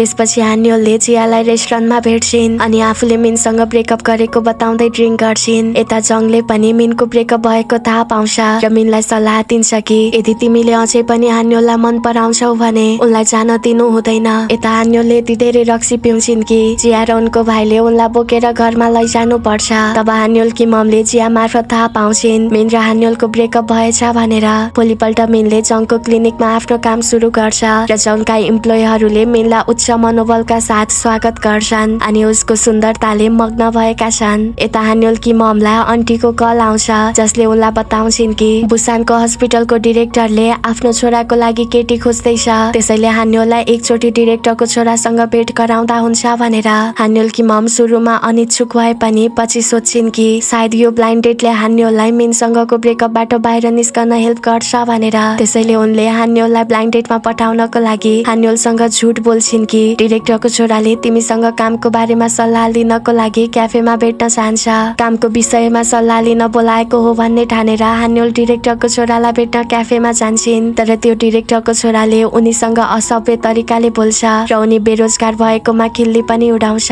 तब हान्योललाई अति रिस उठ्छ अनि आफ्नै आमाले झुट बोलेर आफूलाई ब्लाइन्ड डेटमा पठाएको थाहा पाउँदा उनी निराश भएर घरमा आउँछिन्। उनले ममलाई भेट्छिन् र आफ्नै आमाबाट धोका पाएको महसुस गरेकी हान्योलले ममलाई सोध्छिन् कि के तपाईँले पनि मलाई अरू जस्तै दयनीय ठान्नुहुन्छ? हुन्छ होइन भने किन यति साह्रै चाहनुहुन्छ कि? म जब गरौँ भनेर मम बताउँछिन् कि म मात्र तिम्रो लाइफ सक्सेसफुल भएको हेर्न चाहन्थे तब हान्युल जवाफ दिन्छन्। म यसरी पनि बाँच्न सक्छु। अरूले के भन्छन्? मेरो आन्टी र साथीहरूले म जबलेस भएकोमा खिल्ली उडाए पनि मलाई मतलब थिएन। तर आज तपाईँले पनि म जबलेस भएकोमा दयनीय ठानेर मसँग झुट बोलेर मलाई डिरेक्टरको छोरासँग ब्लाइन्ड डेटमा पठाउनु भयो ताकि मैले राम्रो काम पाउन सकु। तर तपाईँले म माथि विश्वास र भरोसा नगरी मेरो जीवनलाई दयनीय ठानेको देख्दा मलाई साह्रै नराम्रो महसुस गरायो। हानिलको कुरा सुनेपछि ममले आफूलाई दोषी महसुस गर्छिन् र रुँदै आफ्नो भाइको रेस्टुरेन्टमा जान्छन्। तब उनलाई रोएको देखेर उनको भाइ यानि कि हान्योलको मामा छतमा जान्छन् जहाँ हान्योल मिललाई सम्झाउँदै बसिरहेकी हुन्छन्। उनलाई मामाले सम्झाउँछन् कि उनकी ममले उनको राम्रो सोचेर नै त्यसो गरेकी थिइन् भनेर मामाले उनलाई छतमा लगाएको बन्दागोपी देखाउँदै बताउँछन् कि यो तिम्री ममले तिम्रो लागि हुर्काएकी हुन् किनकि बन्दागोपी डिप्रेसनको लागि राम्रो हुन्छ। यसैबीच जियाले हान्योललाई कल गर्छिन् तर हान्योलले कल नउठाएपछि हान्योलको भाइलाई कल गर्छिन्। र तब उनलाई थाहा हुन्छ कि हान्योल आज ब्लाइन्ड डेटमा गएकी थिइन् भनेर। उनले चर्को स्वरमा हान्योल ब्लाइन्ड डेटमा गएकी थिइन् भनेर दोहोऱ्याउँदै गर्दा मिन ठ्याक्कै त्यहाँ आइपुग्छ। किनकि उनीहरू दुवैको काम गर्ने अफिस एउटै बिल्डिङमा छ। त्यसैले मिनले जियाको कुरा सुन्छ तर नसुनेको जस्तो गरी जान्छ जबकि जिया उसले हान्योलको बारेमा कुरा गरेको सुन्यो कि सुनेन होला भनेर चिन्तित छिन्। यता हान्योलका मामाले मेरो एउटा विस पुरा गरिदेऊ भान्जी भन्दै हान्योललाई एउटा रेस्टुरेन्टमा लिएर जान्छन् जहाँ केही समयपछि उनको भाइले ममलाई पनि जबरजस्ती ल्याउँछ र अनि दुवैजना मामा भान्जा खाना अर्डर गरी मम र हान्योललाई एक्लै छोडेर त्यहाँबाट भाग्छन् ताकि मम र हान्योलले एकअर्कासँग कुरा गर्न सकुन् भनेर। केही अप्ठ्यारो रूपमा ममले हान्योलसँग कुरा गर्न सुरु गर्छिन् र आजको लागि माफी माग्दै हान्योललाई ब्याङ्क अकाउन्टको पासबुक दिन्छन् जसमा उनका ड्याडले उनको विवाहको लागि भनेर पैसा जम्मा गरेका थिए। र ममलाई पनि यो कुरा भर्खरै मात्र हान्योलको भाइले बताएको रहेछ। ममको कुराबाट हामीलाई थाहा हुन्छ कि हान्योलको ड्याड बिरामी भएका थिए र मर्नु अघि हान्योललाई कल गरेका थिए। तर पढाइमा व्यस्त हान्योलले ड्याडको अन्तिम कल पनि उठाएकी रहेनछिन् जसकारण ड्याडको मृत्युपछि हान्योलले गिल्टी फिल गर्थिन् र रातमा सुत्न पनि सक्थिनन्। त्यसैले ममले हान्योललाई त्यसको लागि गिल्टी फिल नगर्न भन्छन् अनि बताउँछिन् कि तिम्रो प्रगतिले मेरो र तिम्रो ड्याडको सधैँ गर्वले छाती फुल्थ्यो र हामीले कहिल्यै तिमीलाई दयनीय ठानेको छैनौ ममले यो ब्याङ्क अकाउन्टमा जम्मा गरेको पैसा उनलाई मन लागेको खाना र घुम्नमा खर्च गर्न भन्छन्। र अझ बताउँछिन् कि तिमी चाहन्छौ भने सधैँको लागि काम नगरी बस्न सक्छौ। म मात्र तिमी खुसी भएको हेर्न चाहन्छु ममका कुराहरू सुन्दा हान्युल रुन थाल्छिन् भने ममको आँखामा पनि आँसु आउँछ र दुवै आमा छोरी मेलमिलाप गर्छन् अनि हाँसी खुसी ड्रिङ्क गर्न थाल्छन्। जबकि यता मिनले हान्युल ब्लाइन्ड डेटमा गएकी थिइन् भनेर सम्झदा चिन्तित हुन्छ। र सायद हान्युल ब्लाइन्ड डेटमा जानुको केही कारण होला भन्ने सोचेर हान्युलको भाइको इन्स्टा अकाउन्ट चेक गर्छ। तब उनीहरूले फ्यामिली डिनर गर्दै गरेको देखेपछि उसलाई त रिसै उठ्छ। किनकि ऊ यता यति धेरै चिन्तित हुँदा उता उनी ब्लाइन्ड डेटमा जाने र फ्यामिलीसँग बसेर मासु लुस्दै छिन् भन्ने सोचेर घर फर्कदै गर्दा ममले हान्युलसँग मिनको बारेमा कुरा गर्छिन्। उदास भएका ह्यान्डसम डाक्टर मिनको लागि ममको दिलमा एउटा नरम ठाउँ छ किनकि मिनले जीवनमा सङ्घर्ष गरिरहेको उनले देखेकी छिन् र त्यसैले प्रार्थना गरिन् कि हान्युल र मिन दुवै एकअर्कामा भर पर्न सकुन् अनि आफूलाई माया गर्न सकुन् भनेर त्यसपछि घरमा गएर हान्युलले आफ्नो र फोटो हेरेर सुत्छिन्। अनि जब भोलिपल्ट बिउजिएर आफ्नो मोबाइल हेर्छिन् तब थाहा पाउँछिन् कि हिजो राति ड्रङ्क भएको बेला उनले मिनलाई मेसेज पठाएकी रहेछन्। त्यतिकैमा उनको भाइ आउँछ र उनलाई खुर्सानी टिप्न जान भन्छ। त्यसैले उनी आफूले मिनलाई पहिले सुरुमा मेसेज पठाएकोमा पश्चाताप गर्दै खुर्सानी टिप्नको लागि छतमा जान्छन् र उनले मिनलाई त्यहाँ देखेपछि छक्क पर्छिन्। मिनले उनलाई एक्स गर्लफ्रेन्ड भनेर बोलाउँछ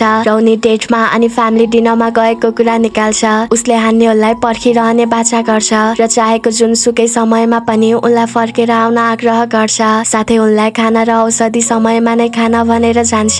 तब हान्योल आफैमा खुसी भएर लजाउँछिन्। त्यसपछि मिन र जङ सँगै क्लिनिक पुग्छन्। तब उनीहरूले आज क्लिनिकमा धेरै पेसेन्टहरूलाई देख्छन्। जङ पहिलो पटक आफ्नो क्लिनिकमा पेसेन्टको घुइँचो देख्दा अचम्म पर्छ। तर वास्तवमा मिनले यस क्लिनिकमा काम गरेको थाहा पाएपछि नै मानिसहरूको यत्रो भिड लागेको हो र अर्को दुई हप्ताको लागि पेसेन्टहरूले बुक गरिसकेका पनि छन् तर मिनले यो सबै बोझ महसुस गर्छ र नर्सले ब्लड लागेको बाल्टीहरू लैजाँदै गर्दा उसले फेरि आफ्नो क्लिनिकमा भएको एक्सिडेन्ट सम्झन्छ जसले गर्दा ऊ रातमा सुत्न पनि नसकेपछि रुन्छ। भोलिपल्ट ऊ सर्जरीको लागि जान्छ र एक्सिडेन्ट पछिको यो उसको पहिलो सर्जरी हो। उसले आफ्नो ध्यान केन्द्रित गर्ने प्रयास गर्छ तर उसले ब्लडहरू देख्दा फेरि एक्सिडेन्टको पल सम्झन्छ र उसलाई प्यानिक अट्याक हुन्छ। जसकारण सर्जरी बिचमा नै रोक्नु पर्छ नर्सहरूले उसलाई पिटिएसडी भएको छ भनेर पत्ता लगाउँछन् र पछि जङले मिनलाई अर्को दिनको सर्जरी क्यान्सल गरेर केही आराम गर्न सल्लाह दिन्छ। तर मिनले आराम गर्न मान्दैन र आफू एकदमै ठिक भएकोले भोलिको सर्जरी पनि गर्ने जिद्दी गर्छ।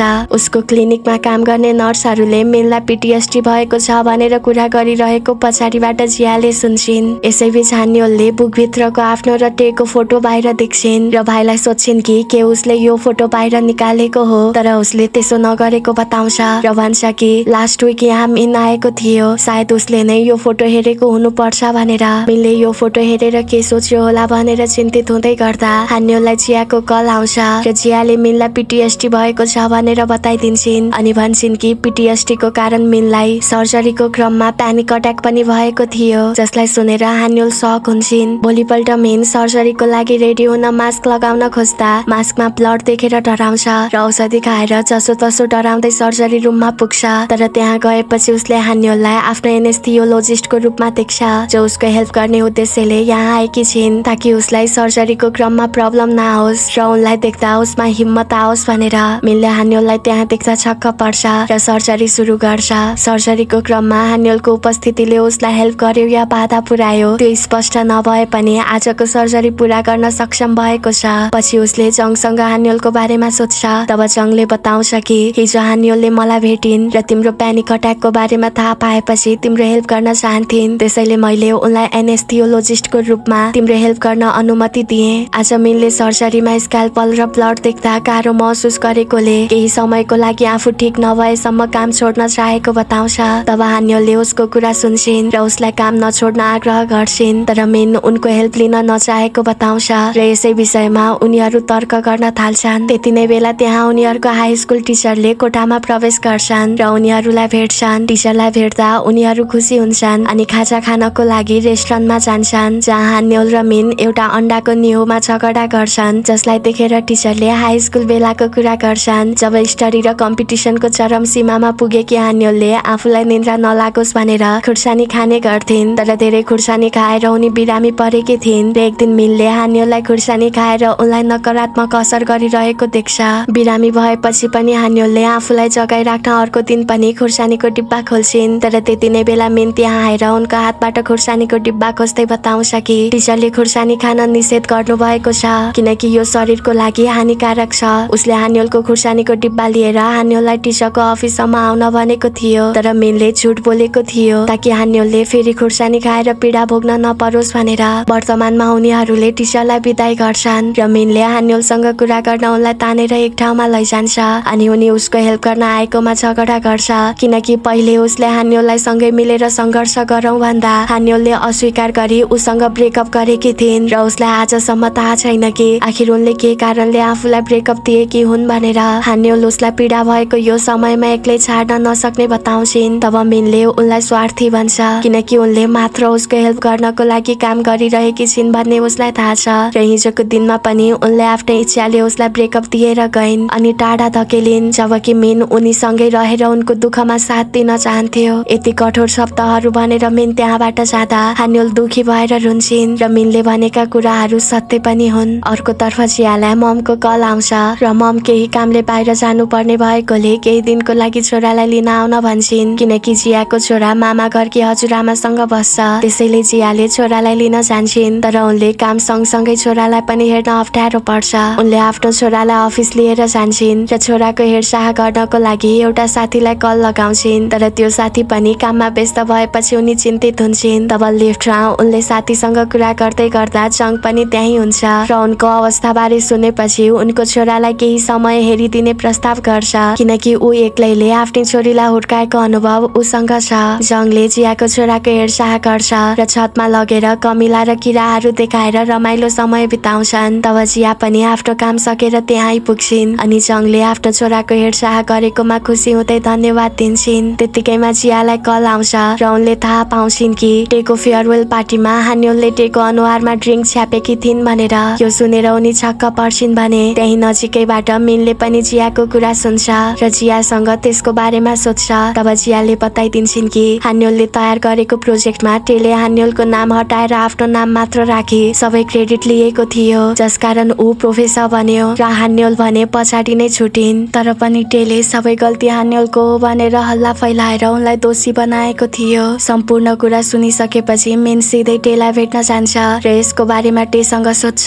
तर टेले उल्टै भन्छ कि हान्योल झुटी हुन् जसले आफ्ना कमजोरीहरूको लागि अरूलाई दोष दिन्छन्। हान्योल बेकार छिन् त्यसैले तिमीले पनि उनलाई बिर्सिदेऊ। यो सुनेर मिनलाई अति नै रिस उठ्छ र टेमाथि हात उठाउँछ। तब टेले पनि मिनमाथि हात उठाउँछ अनि चार मुक्का लगाइसकेपछि टेकै अफिसमा काम गर्ने स्टाफहरूले उनीहरूलाई रोक्छन्। यसैबीच हान्योलले ममलाई धन्यवाद दिन्छन् किनकि ममले उनको डिप्रेसनको लागि बन्दागोबी लगाएकी छिन्। त्यसपछि उनले मिनलाई कल गरेर भेट्नको लागि सोध्छिन् तर उनले कल कट गर्न नपाउँदै मिन छतमा आइपुग्छ। हान्योलले उसको अनुहार र हातमा लागेको चोट देखेपछि उसले कसैसँग झगडा गरेर आएछ भनेर थाहा पाउँछिन् अनि कोसँग झगडा गर्यो भने सोध्छिन् तर उसले बताउँदैन। र उनलाई अङ्गालो हालेर भन्छ कि मलाई माफ गरिदेऊ हान्योल मलाई थाहा थिएन। त्यसपछि हान्योलले उसको चोटमा औषधि लगाइदिन्छन्। तब मिन आफूले उनलाई एकदमै धेरै मिस गरेको बताउँछ।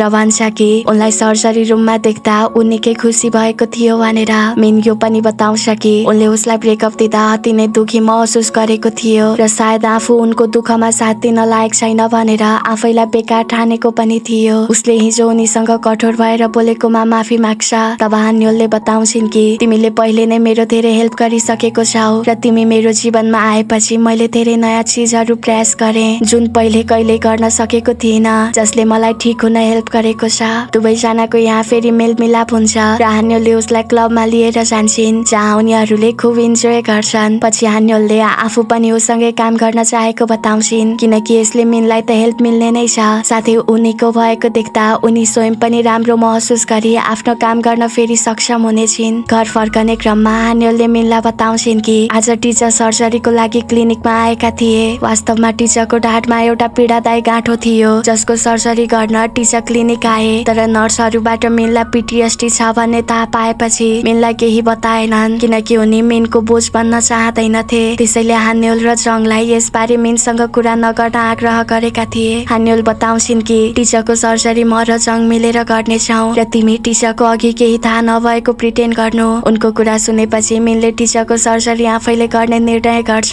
किनकि आफ्नो कमजोरीलाई दूर गराउने यो उसको लागि एउटा मौका पनि हो। त्यसपछि अर्को दिन हान्योल र मिन दुवै मिलेर टिचरको सर्जरी गर्छन् र सर्जरी सफल हुनुको साथै मिनको पिटिएसटीमा धेरै राम्रो सुधार देखिन्छ। सर्जरी सक्सेसफुल भएपछि तिनीहरूको टिम डिनरको लागि बाहिर रेस्टुरेन्टमा जान्छन् जहाँ ड्रिङ्क गर्ने गेम खेलिन्छ। गेममा हान्योलको फर्स्ट पालो आउँछ र उनलाई भन्नुपर्ने हुन्छ कि उनको बोयफ्रेन्ड छ कि छैन भनेर। तब उनले आफ्नो बोयफ्रेन्ड नभएको बारेमा झुट बोल्छिन् भने अर्को पालो मिनको हुन्छ। उसले हालसालै कसैलाई चुम्बन गरेको छ कि छैन भनेर भन्नुपर्ने हुन्छ। जसमा उसले हालसालै कसैलाई चुम्बन गरेको छैन भनेर झुट बोल्छ। जबकि उसले हिजो मात्र हान्योललाई चुम्बन गरेको थियो त्यसैले हान्योल र मिन हिजो चुम्बन गरेको त्यो क्षणलाई सम्झेर अप्ठ्यारो महसुस गर्छन्। त्यतिकैमा हान्योललाई चियाको कल आउँछ र उनलाई चिया मार्फत थाहा हुन्छ कि मिनले उनको लागि टेलाई कुटेको रहेछ भनेर। उनले मिनलाई यसको बारेमा बताउँछिन् र सोध्छिन् कि सबैभन्दा पहिले कसले हात उठायो तब मिन आफूले नै पहिले टेलाई कुटेको बताउँदै मुस्कुराउँछ। हान्योल पनि मुस्कुराउँछिन् र पार्टीपछि दुवैले एकअर्कासँग कुरा गर्छन् अनि आफूहरूको प्रेम सम्बन्धलाई अर्को मौका दिने निर्णय गरी फेरि चुम्बन गर्छन्। त्यसपछि उनीहरू घरमा फर्कन्छन्। र मिनले आफू फेरि उनको घरको रुफटपमा बस्न आउने बताउँछ अनि अबदेखि उनलाई ब्रेकअप गर्ने कुरा ननिकाल्न भनी प्रमिस पनि गराउँछ। उनीहरूले एकअर्काको मोबाइलमा गर्लफ्रेन्ड र बोयफ्रेन्ड भनेर फोन नम्बर सेभ गर्छन् र पहिले भन्दा झन् बढी मायालु हुन्छन् अनि छुट्टिने बेला मिलले उनको निधारमा चुम्बन काट्छ त्यसैले पनि आज हान्योल एकदमै राम्रो मुडमा घर फर्किन्छन्। जुन कुरा उनको फ्यामिलीले महसुस गर्छन् त्यति नै बेला उनलाई मिनको कल आएपछि उनी रुममा जान्छन् र उनीहरूले मिड नाइट स्न्याक गर्नको लागि भेट्ने बाचा गर्छन्। त्यसैले हान्योल मध्यरातमा लुकी छुपी किचनमा जान्छन् र फ्रिजबाट किम्ची प्लेटमा हालेर रुफटपमा जान लाग्छन् जहाँ मिन छ। तर त्यति नै बेला उनकी मम पानी पिउनको लागि किचनमा आएपछि उनले भोक लागेर किम्ची खान लागेको बाहना गर्छिन् जुन कुरा ममलाई अनौठो लाग्छ। मम सुत्न गएपछि हान्योल फेरि किम्ची लिएर मिनको रुममा जान्छन् र उनीहरूले अबेर रातिसम्म खाजाको आनन्द लिन्छन् अनि आफ्नो रिलेसनको बारेमा अफिसमा कसैलाई पनि नबताउने निर्णय गर्छन्। हान्योलले आफ्नो फ्यामिलीलाई चाहिँ आफ्नो रिलेसनको बारेमा बताउने कुरा गर्छिन् जसलाई सुनेर मिन खुसी हुन्छ।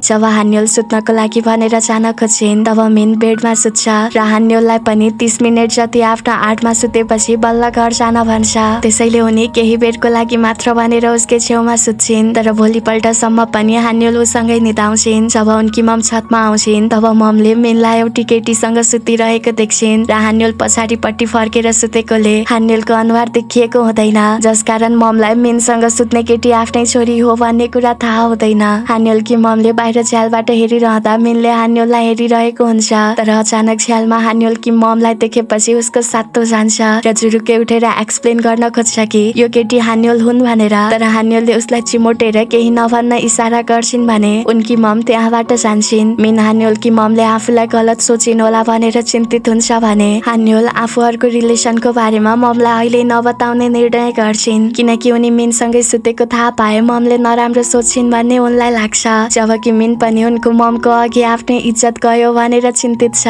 हान्युलले उसलाई केही हुँदैन भनेर आश्वासन दिन्छन् र घर फर्कन लाग्छिन्। तब उनले हिजो किम्ची हालेर ल्याएको प्लेट खसेर फुट्छ। घरमा फर्केर हान्युलकी मम लामो लामो सास फेर्छिन् र मिनलाई एक केटीसँग सुतेको कुरा आफ्नो छोरालाई बताउँछिन्। तब उनको छोरा बाढाले मिनलाई को केटीसँग देख्नुभयो भनी सोध्छ। तब ममले त्यो केटीको अनुहार ब्ल्याङ्केटले ढाकेकोले नदेखेको बताउँछिन्। अनि बाढा भन्छ त्यो केटी हाम्री हान्युल पनि त हुन सक्छ। त्यति नै बेला हान्युल घरमा आउँछिन् र जगिङ गरेर आएको नाटक गर्दै आफ्नो रुममा पस्छिन्। त्यसैले ममलाई त्यो केटी हान्युल होइन भन्ने लाग्छ। र मिनले अर्कै केटीसँग चक्कर चलाइरहेको सोचेर खुब रिसाउँछिन् अनि आफ्नी छोरीलाई चाहिँ बिचरी ठान्छिन्। जब मिन अफिस जान घरबाट बाहिर आउँछ तब हान्युलकी ममले उसलाई रोक्छिन् र उसको टाइम मिलाइदिने बाहनामा झन कसिदिन्छन् अनि उसको पछाडि फोहोर लागेको छ भन्दै ढाडमा मजाले कुटेर आफ्नो रिस पोख्छिन् त्यति नै बेला हान्युल बाहिर आउँछिन् र मिनले ममबाट आफूलाई बचाउन उनको हेल्प माग्छ तर हान्युल भित्र लुक्छिन्। यसैबीच यता जियाको छोरा आफ्नै हजुरआमाको घरमा जान्छ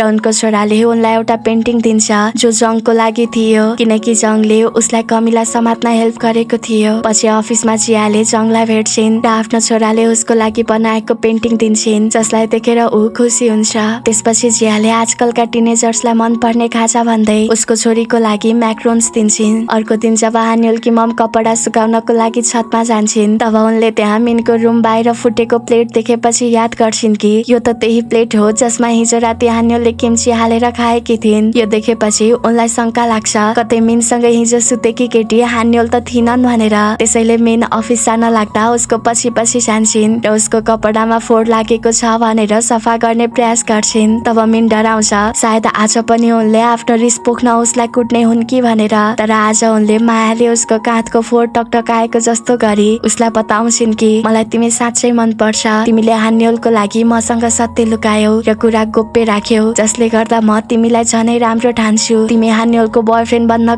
क्वालिफाइड छौ मम बताउँछिन् हिजो तिमीसँगै बेडमा सुत्ने केटी हान्युल हुन् भनेर मलाई थाहा छ। तब ममको कुरा सुनेर मिन छक्क पर्छ। त्यत्तिकैमा उसलाई हान्युलको कल आउँछ र ममले उसको मोबाइलमा हान्युलको नम्बर गर्लफ्रेन्ड भनेर सेभ गरेको देख्छिन् अनि मक्ख पर्दै उसलाई हान्युलको कल उठाउन भन्छन्। हान्युलसँग बोलेर सकेपछि मिनले ममलाई बताउँछ कि त्यो रात हामीहरूको बिचमा त्यस्तो केही भएको थिएन। तब मम भन्छन् त्यो सत्य हो या होइन यो मेरो कामको विषय होइन। सायद हान्युलले मलाई सत्य बताउन लजाइरहेकी छिन् तर तिमीहरूले कहिलेसम्म यसलाई लुकाउन सक्छौ? आज मेरो बर्थडे हो के तिमीले मेरो बर्थडे प्रेजेन्टको रूपमा एउटा फेभर दिन सक्छौ? दिउँसो हान्युल र उनको भाइले ममको बर्थडे सेलिब्रेट गर्नको लागि एउटा फ्यान्सी रेस्टुरेन्ट बुक गर्छन् जहाँ मेन बुके लिएर आई हान्युलकी ममलाई बर्थडे विस गर्छ जसलाई देखेर हान्युल र उनको भाइ छक्क पर्छन्। आफ्नै ममले मेनलाई पार्टीमा बोलाएको कुरा हान्युलले थाहा पाउँछिन् र बाडा रिसाउँदै सोध्छ कि अर्कै केटीसँग सुतेको देखेर नि तपाईँले हाम्रो परिवारको दुश्मन यो मिनलाई किन इन्भाइट गर्नुभयो? तब मम भन्छन् कि त्यो केटी तिम्री दिदी हुन्। यो सुनेर हान्युल र बाडा छक्क पर्छन् भने मिनले हान्युललाई बताउने प्रयास गर्छ कि? उसले यो कुरा ममलाई बताएको होइन कि मम आफैले थाहा पाएकी हुन् भनेर। तर हान्युलले उसलाई रोक्छिन् र अन्तत स्वीकार गर्छिन् कि हामीहरू डेटिङ गर्दैछौ र ऊ मेरो बोयफ्रेन्ड हो भनेर। मम र बाडा दुवैले राजी खुसी उनीहरूको रिलेसनलाई एक्सेप्ट गरी सपोर्ट पनि गर्छन् र बर्थडे पार्टी मजाले इन्जोय गर्छन्। तर हान्युलकी ममले यति धेरै ड्रिङ्क गर्छिन् कि मिनले उनलाई बोकेर घरसम्म पुर्याउन पर्छ। यसैबीच जङ्की छोरी जियाले पठाइदिएको म्याक्रोन्स खुसी साथ खाँदैछिन्। त्यसैले आफ्नै छोरीलाई खुसी देखेर जङ पनि खुसी हुँदै जियालाई थ्याङ्क्स भनेर मेसेज पठाउँछ। जब उसले वासिङ मेसिनमा कपडा हाल्दै हुन्छ तब उसले छोरीको कपडामा ब्लड देखेपछि सोध्छ कि के स्कुलमा बच्चाहरूले तिमीलाई बुल्ली गर्छन्? उसकी छोरी सुरुमा बताउन हिचकिचाउँछिन् तर जङले सत्य बताउन भनी जिद्दी गरेपछि भन्छन् कि मेरो ब्राको वायर बाहिर निस्केर मलाई काट्यो। पुरानो ब्राको वायरले छोरीलाई चोट पुर्याएको सुन्दा जङ दुखी महसुस गर्छ किनकि उसकी छोरी उसँग यस्ता कुराहरू गर्न लजाउँछिन् जसकारण उसले छोरीको हेल्प गर्न सक्दैन। त्यसैले ऊ कन्भिनियन्स स्टोरमा हुँदा आफ्नै छोरीको लागि ब्राको बारेमा गुगल सर्च गर्छ। तब त्यति नै बेला जिया पनि सामान किन्नको लागि स्टोरमा आउँछिन् र उसले गुगल सर्च गरिरहेको देखेपछि उसकी छोरीको लागि नयाँ अन्डा गार्मेन्ट्स किन्न मद्दत गर्छिन् जसले गर्दा उनीहरूको बीचको मित्रता झनै गाढा बन्दै जान्छ। घरमा हान्युल र मिन आफ्नो फ्यामिलीको बारेमा कुरा गर्छन्। मिनले हान्युललाई सोध्छ कि किन तिमीले कहिले मेरो फ्यामिलीको बारेमा मसँग सोध्दिनौ? तब हान्युल बताउँछिन् उनीहरू हाई स्कुलमा हुँदा उनले उसको ममलाई देखेकी थिइन्। जब मिन र हान्युल सँगै फेन्ट भएका थिए त्यो समयमा मिनलाई रक्त अल्पता भएको थियो। त्यति बेला मिनकी ममले मिनको टिचरसँग झर्कदै सोधिरहेकी थिइन् कि ऊ कसरी पढ्दै गर्दा फेन्ट भयो र किन क्लासमा फर्स्ट पोजिसनमा आउन सकिरहेको छैन? आफ्नो छोराको स्वास्थ्य अवस्था भन्दा पनि स्कुलमा कस्तो पोजिसन ल्याउँछ भनेर बढी चिन्तित भएको देखेर हान्युल छक्क परेकी थिइन् र महसुस गरेकी थिइन् कि मिन आफ्नो फ्यामिली हुँदा हुँदै पनि कति एक्लो रहेछ भनेर। त्यसपछि तिनीहरू घुम्न जान्छन् जहाँ मिनले बताउँछ कि मेरो mom dad cardio thoracic surgeon हुन्। ड्याड अमेरिकाको मेडिकल स्कुलमा प्रोफेसर हुनुहुन्छ र हालै अमेरिकन हार्ट एसोसिएसनको फर्स्ट एसियन चेयरमेन बन्नु भएको छ भने मम चाहिँ ड्याडकै स्कुलमा रिसर्चर हुनुहुन्छ। मिना जब बताउँछ कि जब उसले प्लास्टिक सर्जरी स्टडी गर्थ्यो तब उसका मम ड्याड त्यसको विरुद्धमा थिए। किनकि तिनीहरू सधैँ आफ्नो छोराले उनीहरूले चालेको बाटोमा हिँडोस् भन्ने चाहन्थे। त्यसैले उसलाई कहिल्यै बुझेनन् र आफ्नो आमा बाबुको माया आफूले कहिल्यै पाउन नसकेको उसको भनाइ छ। मिनले टेको बारेमा कुरा गर्छ। र भन्छ कि तिमी मेरो जीवनमा आउनु अघि मैले सबैभन्दा बढी टेलाई विश्वास गर्थे। तर टेले तिमीसँग नराम्रो गरेको थाहा पाएपछि सायद टे राम्रो मान्छे होइन भन्ने महसुस गरे। किनकि कहिले काहीँ मलाई टे अनौठो लाग्थ्यो। मिनले बताउँछ कि जब मैले मेडिकल इक्जाम पास गरेको थिएँ। तब म र टे फर्स्ट टाइम ड्रिङ्क गर्न गएका थियौँ जहाँ टेले मेरो ड्रिङ्कमा केही मिसाएको जस्तो लागेको थियो। फ्ल्यासब्याकमा देखाइन्छ कि मेडिकल स्कुलको इक्जाम पास गरेपछि टे र मिन ड्रिङ्क गर्न बारमा जान्छन् जहाँ मिन एकदमै ड्रङ्क भएको मौका छोपेर टेले मिनको ग्लासमा केही मिसाइदिएको थियो। धेरै ड्रङ्क भएको मिनले टेले केही चिज आफ्नो ग्लासमा मिसाइदिएको देख्छ तर नसका कारण उसले स्पष्ट रूपमा आफूले देखेको कुरा सत्य थियो भनेर सम्झन सक्दैन। त्यसपछि सिधै हस्पिटल बेडमा बिउजिएको थियो र डाक्टरले भनेको सुन्छ कि मिनले एकदमै धेरै ड्रिङ्क गरेको थियो साथै उसले ड्रग्स पनि लिएको फेला परेको छ भनेर।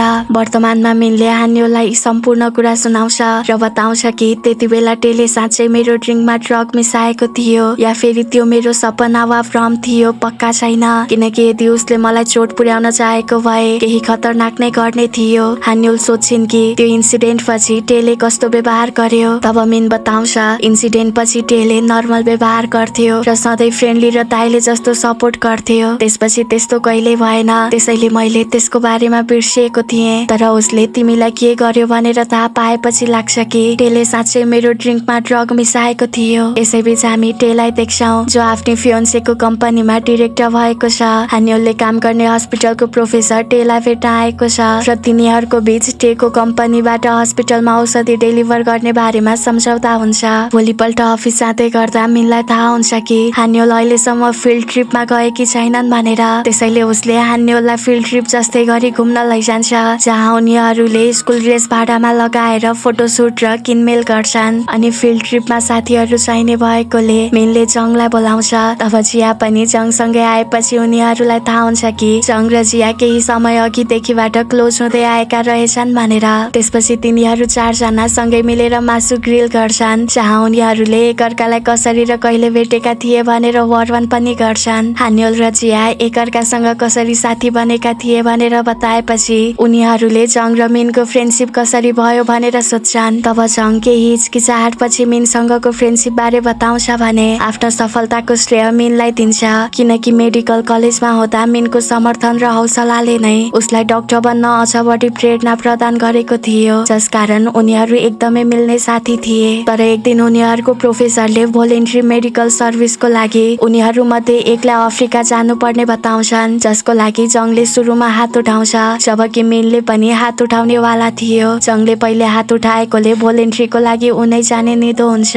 त्यसैले पछि मिनले जङको प्रशंसा गर्दै उसको ढाडमा हिर्काउँछ। तब त्यति नै बेला जङ प्लास्टिकको ब्यागमा चिप्लिएर सिटीबाट खस्छ जसकारण उसको हात भाँचियो र उसको ठाउँमा भोलिन्ट्रीको लागि मेन अफ्रिका गयो। अफ्रिकामा मेनले भोलिन्टियरिङ गरेको डकुमेन्ट्री फेमस भएपछि मिन पनि फेमस भएको थियो। जसकारण जङले महसुस गरेको थियो कि यदि म अफ्रिका जान पाएको भए आज मिनको ठाउँमा म फेमस हुने थिएँ। पछि उनीहरूको बिचमा सानो बहस हुन्छ र जङले मिनको कपाल पुतालेपछि उनीहरू बिच सिरानी हानाहान भएको थियो। वर्तमानमा जङ बताउँछ कि त्यसपछि मेरो धनी ससुराबाले मलाई तुच्छ ठाने र सर्जरीको बेलामा पनि मैले ससुराको फोन कल उठाउनु पर्थ्यो भने बिदाको दिनमा सासु आमासँग गल्फ खेल्न जानु पर्थ्यो। जसकारण उसले सहनै नसकेपछि आफ्नी वाइफसँग डिभोर्स लिएको बताउँछ। तब मिनले उसँग माफी माग्छ र तिनीहरूले टेको बारेमा कुरा गर्छन्। कुराकानीको क्रममा चङले सोध्छ कि केटीले ड्रग लिन्छ र एकपटक मैले उसलाई ड्रग पाउडर बोकेको देखेको थिएँ र सायद यो हामी फोर्थ इयरमा हुँदाखेरिको कुरा हो। फ्ल्यासब्याकमा देखाइन्छ कि। त्यति बेला चङ टेसँग ठोकिँदा टेको खल्तीबाट ड्रग्सको प्याकेट खसेको थियो र त्यस प्याकेटलाई चङले उठाएर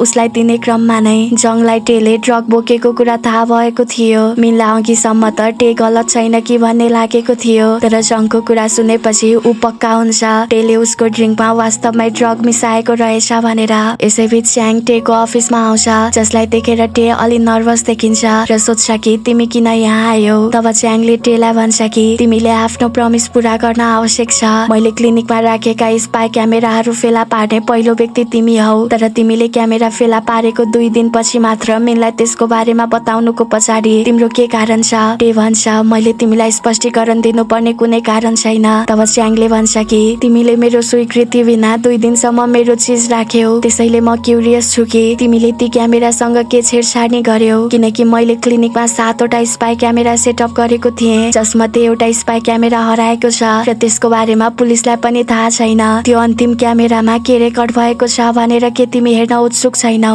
च्याङले स्पाई क्यामेरामा रेकर्ड भएको फुटेजको बारेमा कुरा गरेर टेलाई ब्ल्याकमेल गर्छ जसकारण टे चिन्तित हुन्छ। त्यसपछि भोलिपल्ट हान्योल मेन्टल हेल्थ क्लिनिक सान्छिन् जहाँ डाक्टरले उनको अवस्था पहिले भन्दा राम्रो भएको बताउँछन् र उनलाई हेल्प मिल्न सक्ने आफ्नो वेबसाइटको केही भिडियो पनि देखाउँछन्। तब हान्योलले ट्याबको वालपेपरमा ग्रुप फोटो देख्छिन्। उनले डाक्टरसँग टेको बारेमा बुझ्दै जाँदा थाहा पाउँछिन् कि टे हेसङ फार्मास्युटिकल कम्पनीबाट दुई वर्षको भोलेन्ट्री मेडिकल सर्भिसको लागि म्यानमार गएको थियो र यो हेसङ फार्मास्युटिकल कम्पनी टेको ससुराको औषधि कम्पनी हो जसमा टे अहिले डिरेक्टर भएको छ। डाक्टरले हान्योलाई बताउँछन् कि हेसङ कम्पनीले हाम्रो र मकाउ दुवै एसोसिएसनलाई स्पोन्सर गरेको छ। र हानस्योङ कम्पनीको प्रेसिडेन्टकी श्रीमती मकाओकी हुन् यानि कि टेकी सासु आमा मकाओकी रहेछन्। यो कुराले हान्योलाई झनै टेमाथि शङ्का लाग्छ। र जियालाई कल गरेर जियाले चिनेको एक मेडिकल रिपोर्टरसँग आफ्नो भेट गराइदिन आग्रह गर्छिन्। त्यसपछि उनले मेडिकल रिपोर्टरलाई भेटेपछि टेको बारेमा सोध्छिन्। तब उनलाई रिपोर्ट मार्फत थाहा हुन्छ कि टेले एक ड्रग डेभलप गरिरहेको छ जुन दुखाइ कम गर्नको लागि क्रान्तिकारी मानिन्छ र कम्पनीको हेडको मकाओको ग्याङ्स्टरसँग पारिवारिक सम्बन्ध छ भनेर रिपोर्टर बताउँछ कि हानस्योङ कम्पनी एक इमान्दार जस्तो देखिँदैन किनकि कम्पनीको प्रेसिडेन्टलाई औषधिमा भन्दा बढी इलिगली प्रफिट कसरी कमाउने भनेर बढी चासो छ। पछि हान्योलले यसबारेमा थप रिसर्च गर्ने क्रममा एउटा आर्टिकलमा हानस्योङ कम्पनीको भाइस प्रेसिडेन्टको फोटो देख्छिन् र उनलाई याद आउँछ कि मिनको कोर्टको सुनवाईको दिनमा हानस्योङ कम्पनीको भाइस प्रेसिडेन्ट उनीसँग ठोकिएको थियो भनेर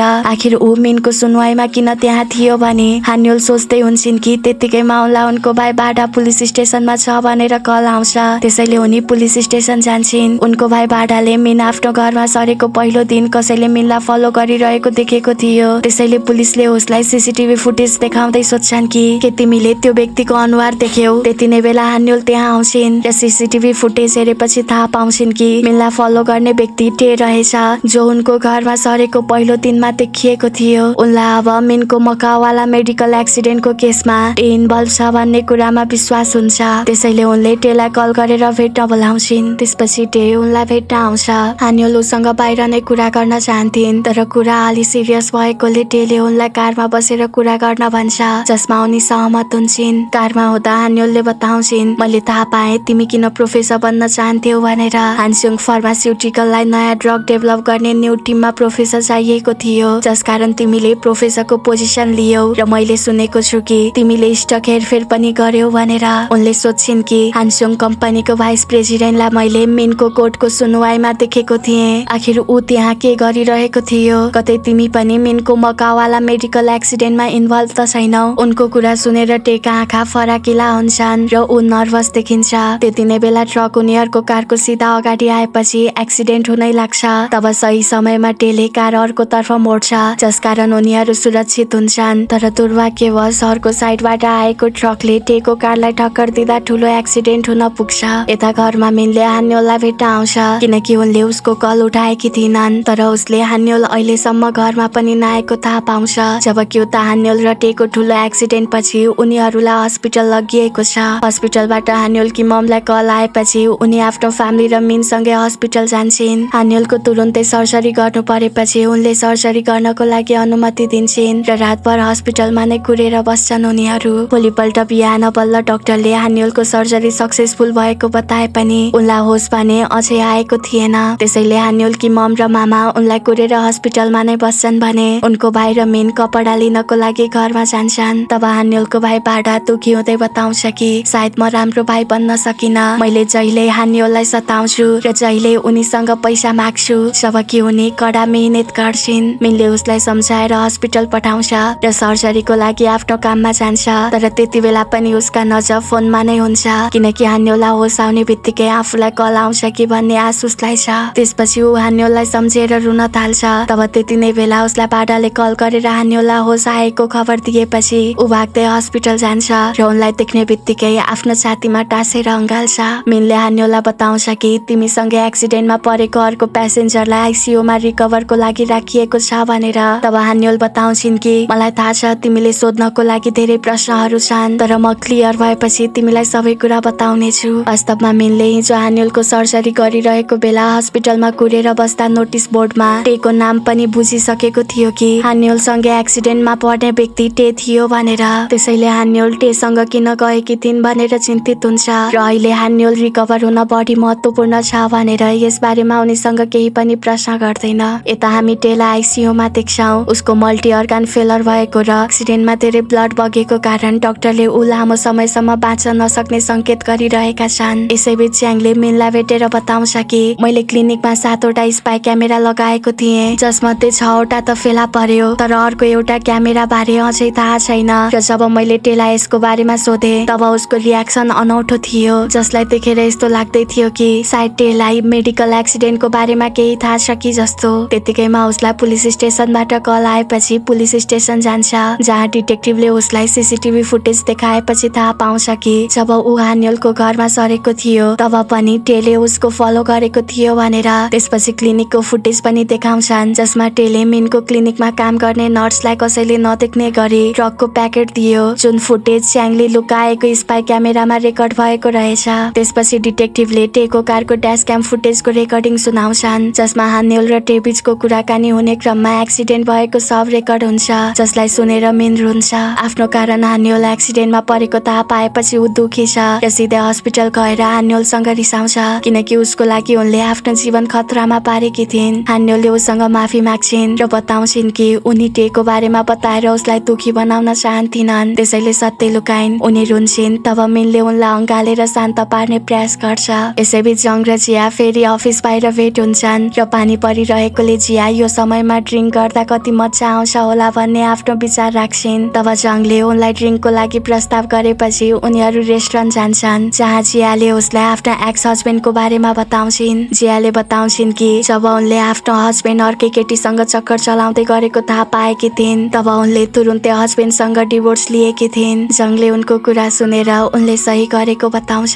जब उनीहरू रेस्टुरेन्टबाट बाहिर निस्कन लाग्छन्। तब जिया आफूले राखेको ठाउँमा छाता देख्दिनन् किनकि उनको छाता अरू कसैले लगिसकेको थियो। त्यसैले उनी जङको छाता सेयर गर्न बाध्य हुन्छन् र उनीहरू खुसी साथ सँगै घर जान्छन्। हान्योलले मिनलाई बताउँछिन् कि म र टेको एक्सिडेन्ट भएपछि पनि हामी केही समयसम्म होसमा नै थियौँ। तब टेले मलाई तिम्रो बारेमा केही बताएको थियो। फ्ल्यासब्याकमा देखाइन्छ कि टे गरिब परिवारबाट भएकोले केही पैसाको लागि मिनको ट्युटरको काम गर्न मिनको घरमा आउँछ जहाँ उसलाई मिनकी ममले मिनलाई राम्ररी पढाउन भनी सम्झाउँछिन्। ताकि मिन मेडिकल युनिभर्सिटी जान सकोस् र समय बित्दै जाँदा मिन र डेभिजको फ्रेन्डसिप एकदमै गाढा बन्न पुग्छ। एक दिन टेका ड्याड रक्सीले मातेकाले ड्याडलाई लिन आउन भन्दै उसलाई बारबाट कल आउँछ। त्यसैले उसले आफ्नो ड्याडलाई लिन जानको लागि मिनकी ममसँग दुई घन्टाको समय माग्छ। किनकि त्यो मिनलाई पढाउने समय थियो। तर मिनकी मम आफूले उसलाई ट्युटरिङको लागि एक्स्ट्रा पैसा तिरेको घमण्ड गर्दै उसलाई जान दिन्नन्। पछि टेको ड्याडको त्यही बारमा मृत्यु हुन्छ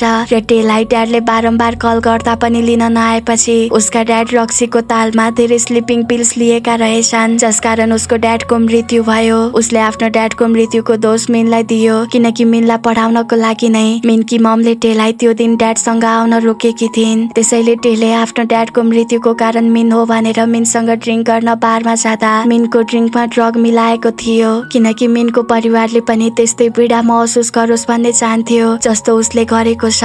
त्यसपछि टेला हामी मिनको क्लिनिकमा गएको देख्छौँ जब ऊ मकावाला ग्याङ्स्टरको अर्डरमा नर्सलाई ड्रग पुर्याउन गएको थियो। हान्योल मार्फत मिनलाई थाहा हुन्छ कि टेले उसलाई किन त्यस्तो गर्यो भनेर। त्यसैले ऊ टेला भेट्न जान्छ जहाँ टेला आइसियुमा राखिएको छ। मिन सोध्छ कि के तिमीले जानी जानी मेरो क्लिनिकमा त्यो इन्सिडेन्ट गराएको थियौ? तब टे भन्छ सुरुमा मलाई त्यो तिम्रो क्लिनिक हो भनेर थाहा थिएन। तर जब मैले त्यो तिम्रो क्लिनिक हो भनेर थाहा पाएको थिएँ मैले तिनीहरूलाई रोक्ने प्रयास गरेको थिएँ तर सकिन। टेले मिनसँग माफी माग्छ। तब मिन भन्छ कि तिमी माफीको योग्य छैनौ। अघि टेले मिनलाई बताउँछ कि यो आशा छैन बरु आशा छ कि। अब मलाई घृणा गरेर तिमीले समय खेर फाल्नुको सट्टा अघि बढ्न सिक्नेछौ। गुड बाई मिन क्रोध र दयाको बीचमा फसेको मिन केही जवाफ नदी त्यहाँबाट जान्छ। र हान्योललाई बताउँछ कि म टेलाई माफी दिन सक्दिन। तब हान्योलले उसलाई सान्त्वना दिन्छन् अनि उसले आफ्नो फिलिङलाई पहिलो स्थान दिनुपर्छ भनेर सम्झाउँदै उसलाई अङ्गालो हालेर सब ठिक हुने कुरा बताउँछिन्। त्यसको केही समय नबित्दै टेको मृत्यु हुन्छ।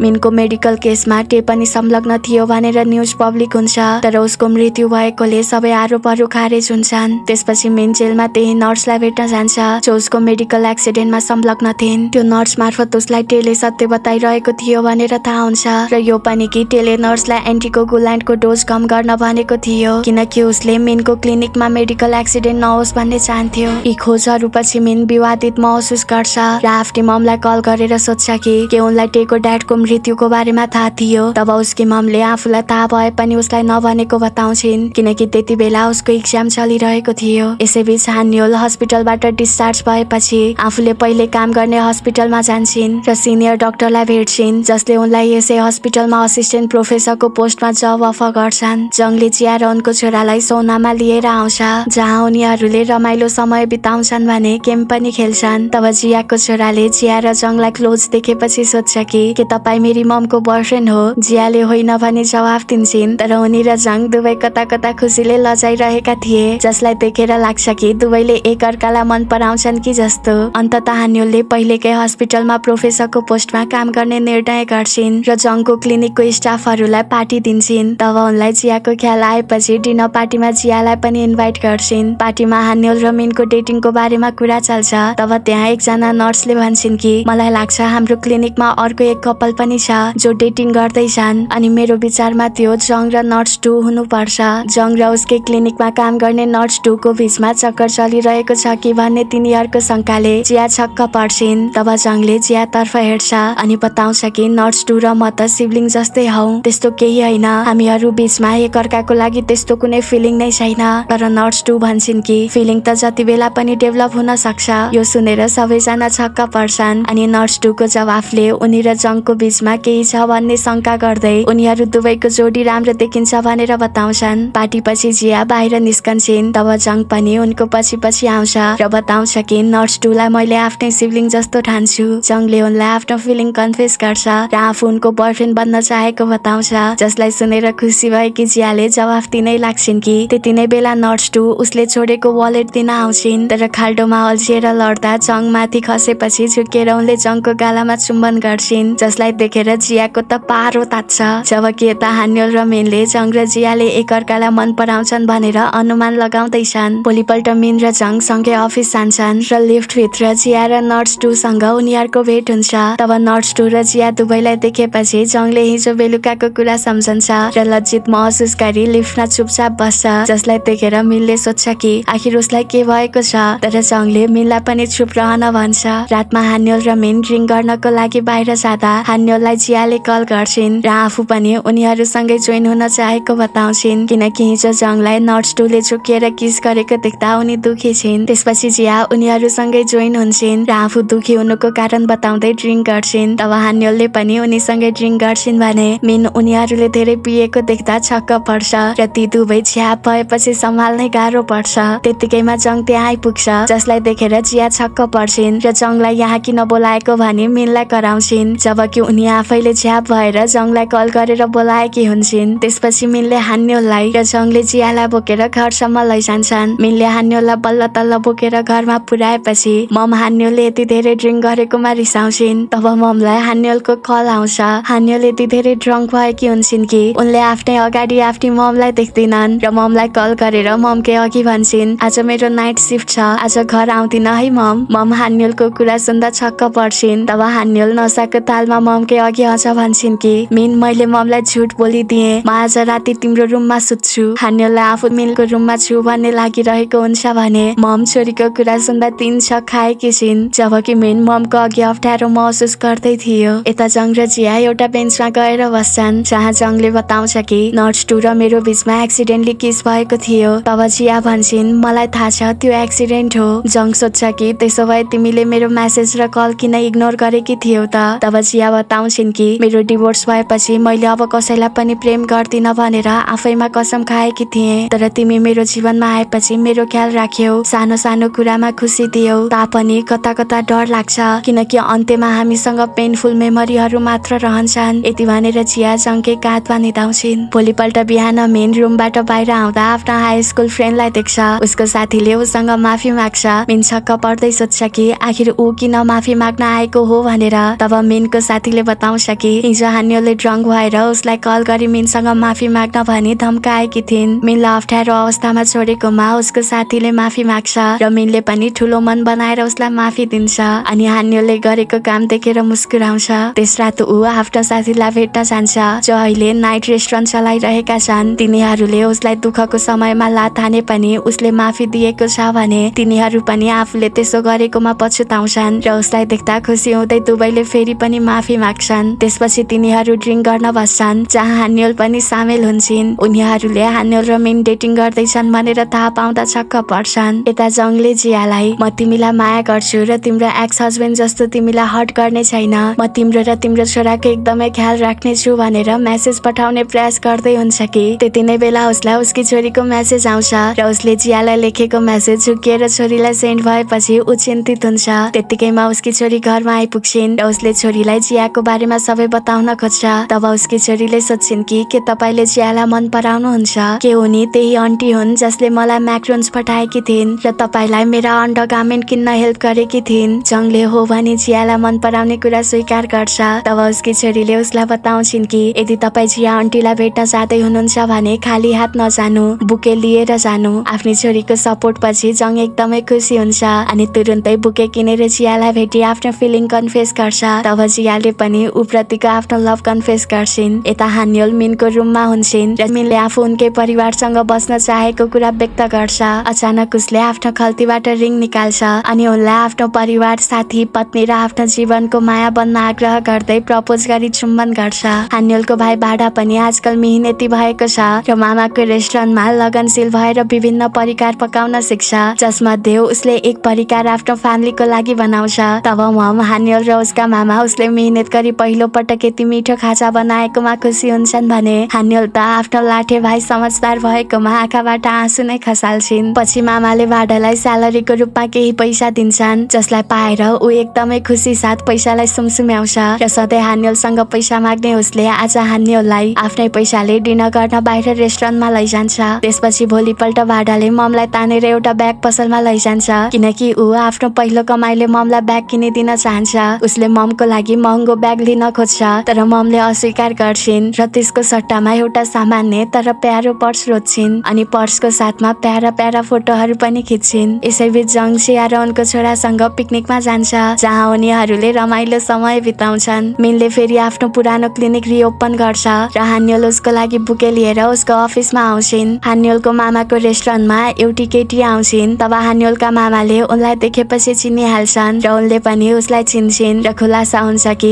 उनी हान्योलको मामाकी फर्स्ट लभ रहेछन् भनेर। उनी यस रेस्टुरेन्टमा मिलमियन खान आएकी हुन्छन् र उनलाई मिलमियन मन पर्ने भएकोले नै हान्योलका मामाले उनलाई भेट्ने आशामा मिलमियन रेस्टुरेन्ट खोलेका रहेछन्। किनकि उनीहरूको पहिलो भेट बुसानमा भएको थियो। जब हान्योलका मामाले बुसानमा यस्तै रेस्टुरेन्ट चलाएर बसेका थिए दुवैजना अनम्यारिड भएकाले उनीहरूको सम्बन्ध अगाडि बढ्ने जस्तो छाटकाट हामी देख्छौँ र बाडा आफ्नो मामाले उनको फर्स्ट लभ फेला पारेको देख्दा खुसी हुन्छ। आफ्नो डिप्रेसन र पिटिएसडीबाट फुल्ली रिकभर भएपछि हानियल र मेन सनराइज हेर्न समुद्र तटमा जान्छन् जहाँ उनीहरूको कुराकानीबाट हामीलाई यो थाहा हुन्छ कि उनीहरूले छिट्टै विवाह गर्दैछन् भनेर अनि यससँगै कहानीको ह्याप्पी इन्डिङ हुन्छ। यो कथा त यही सकिन्छ तर म तपाईँलाई हामीले अपलोड गरेका निकै नै मन छुने दुईवटा कथाहरूको बारेमा बताउन चाहन्छु। यो दुईवटा कथा हेर्नको लागि तलको फर्स्ट कमेन्ट चेक गर्नुहोला।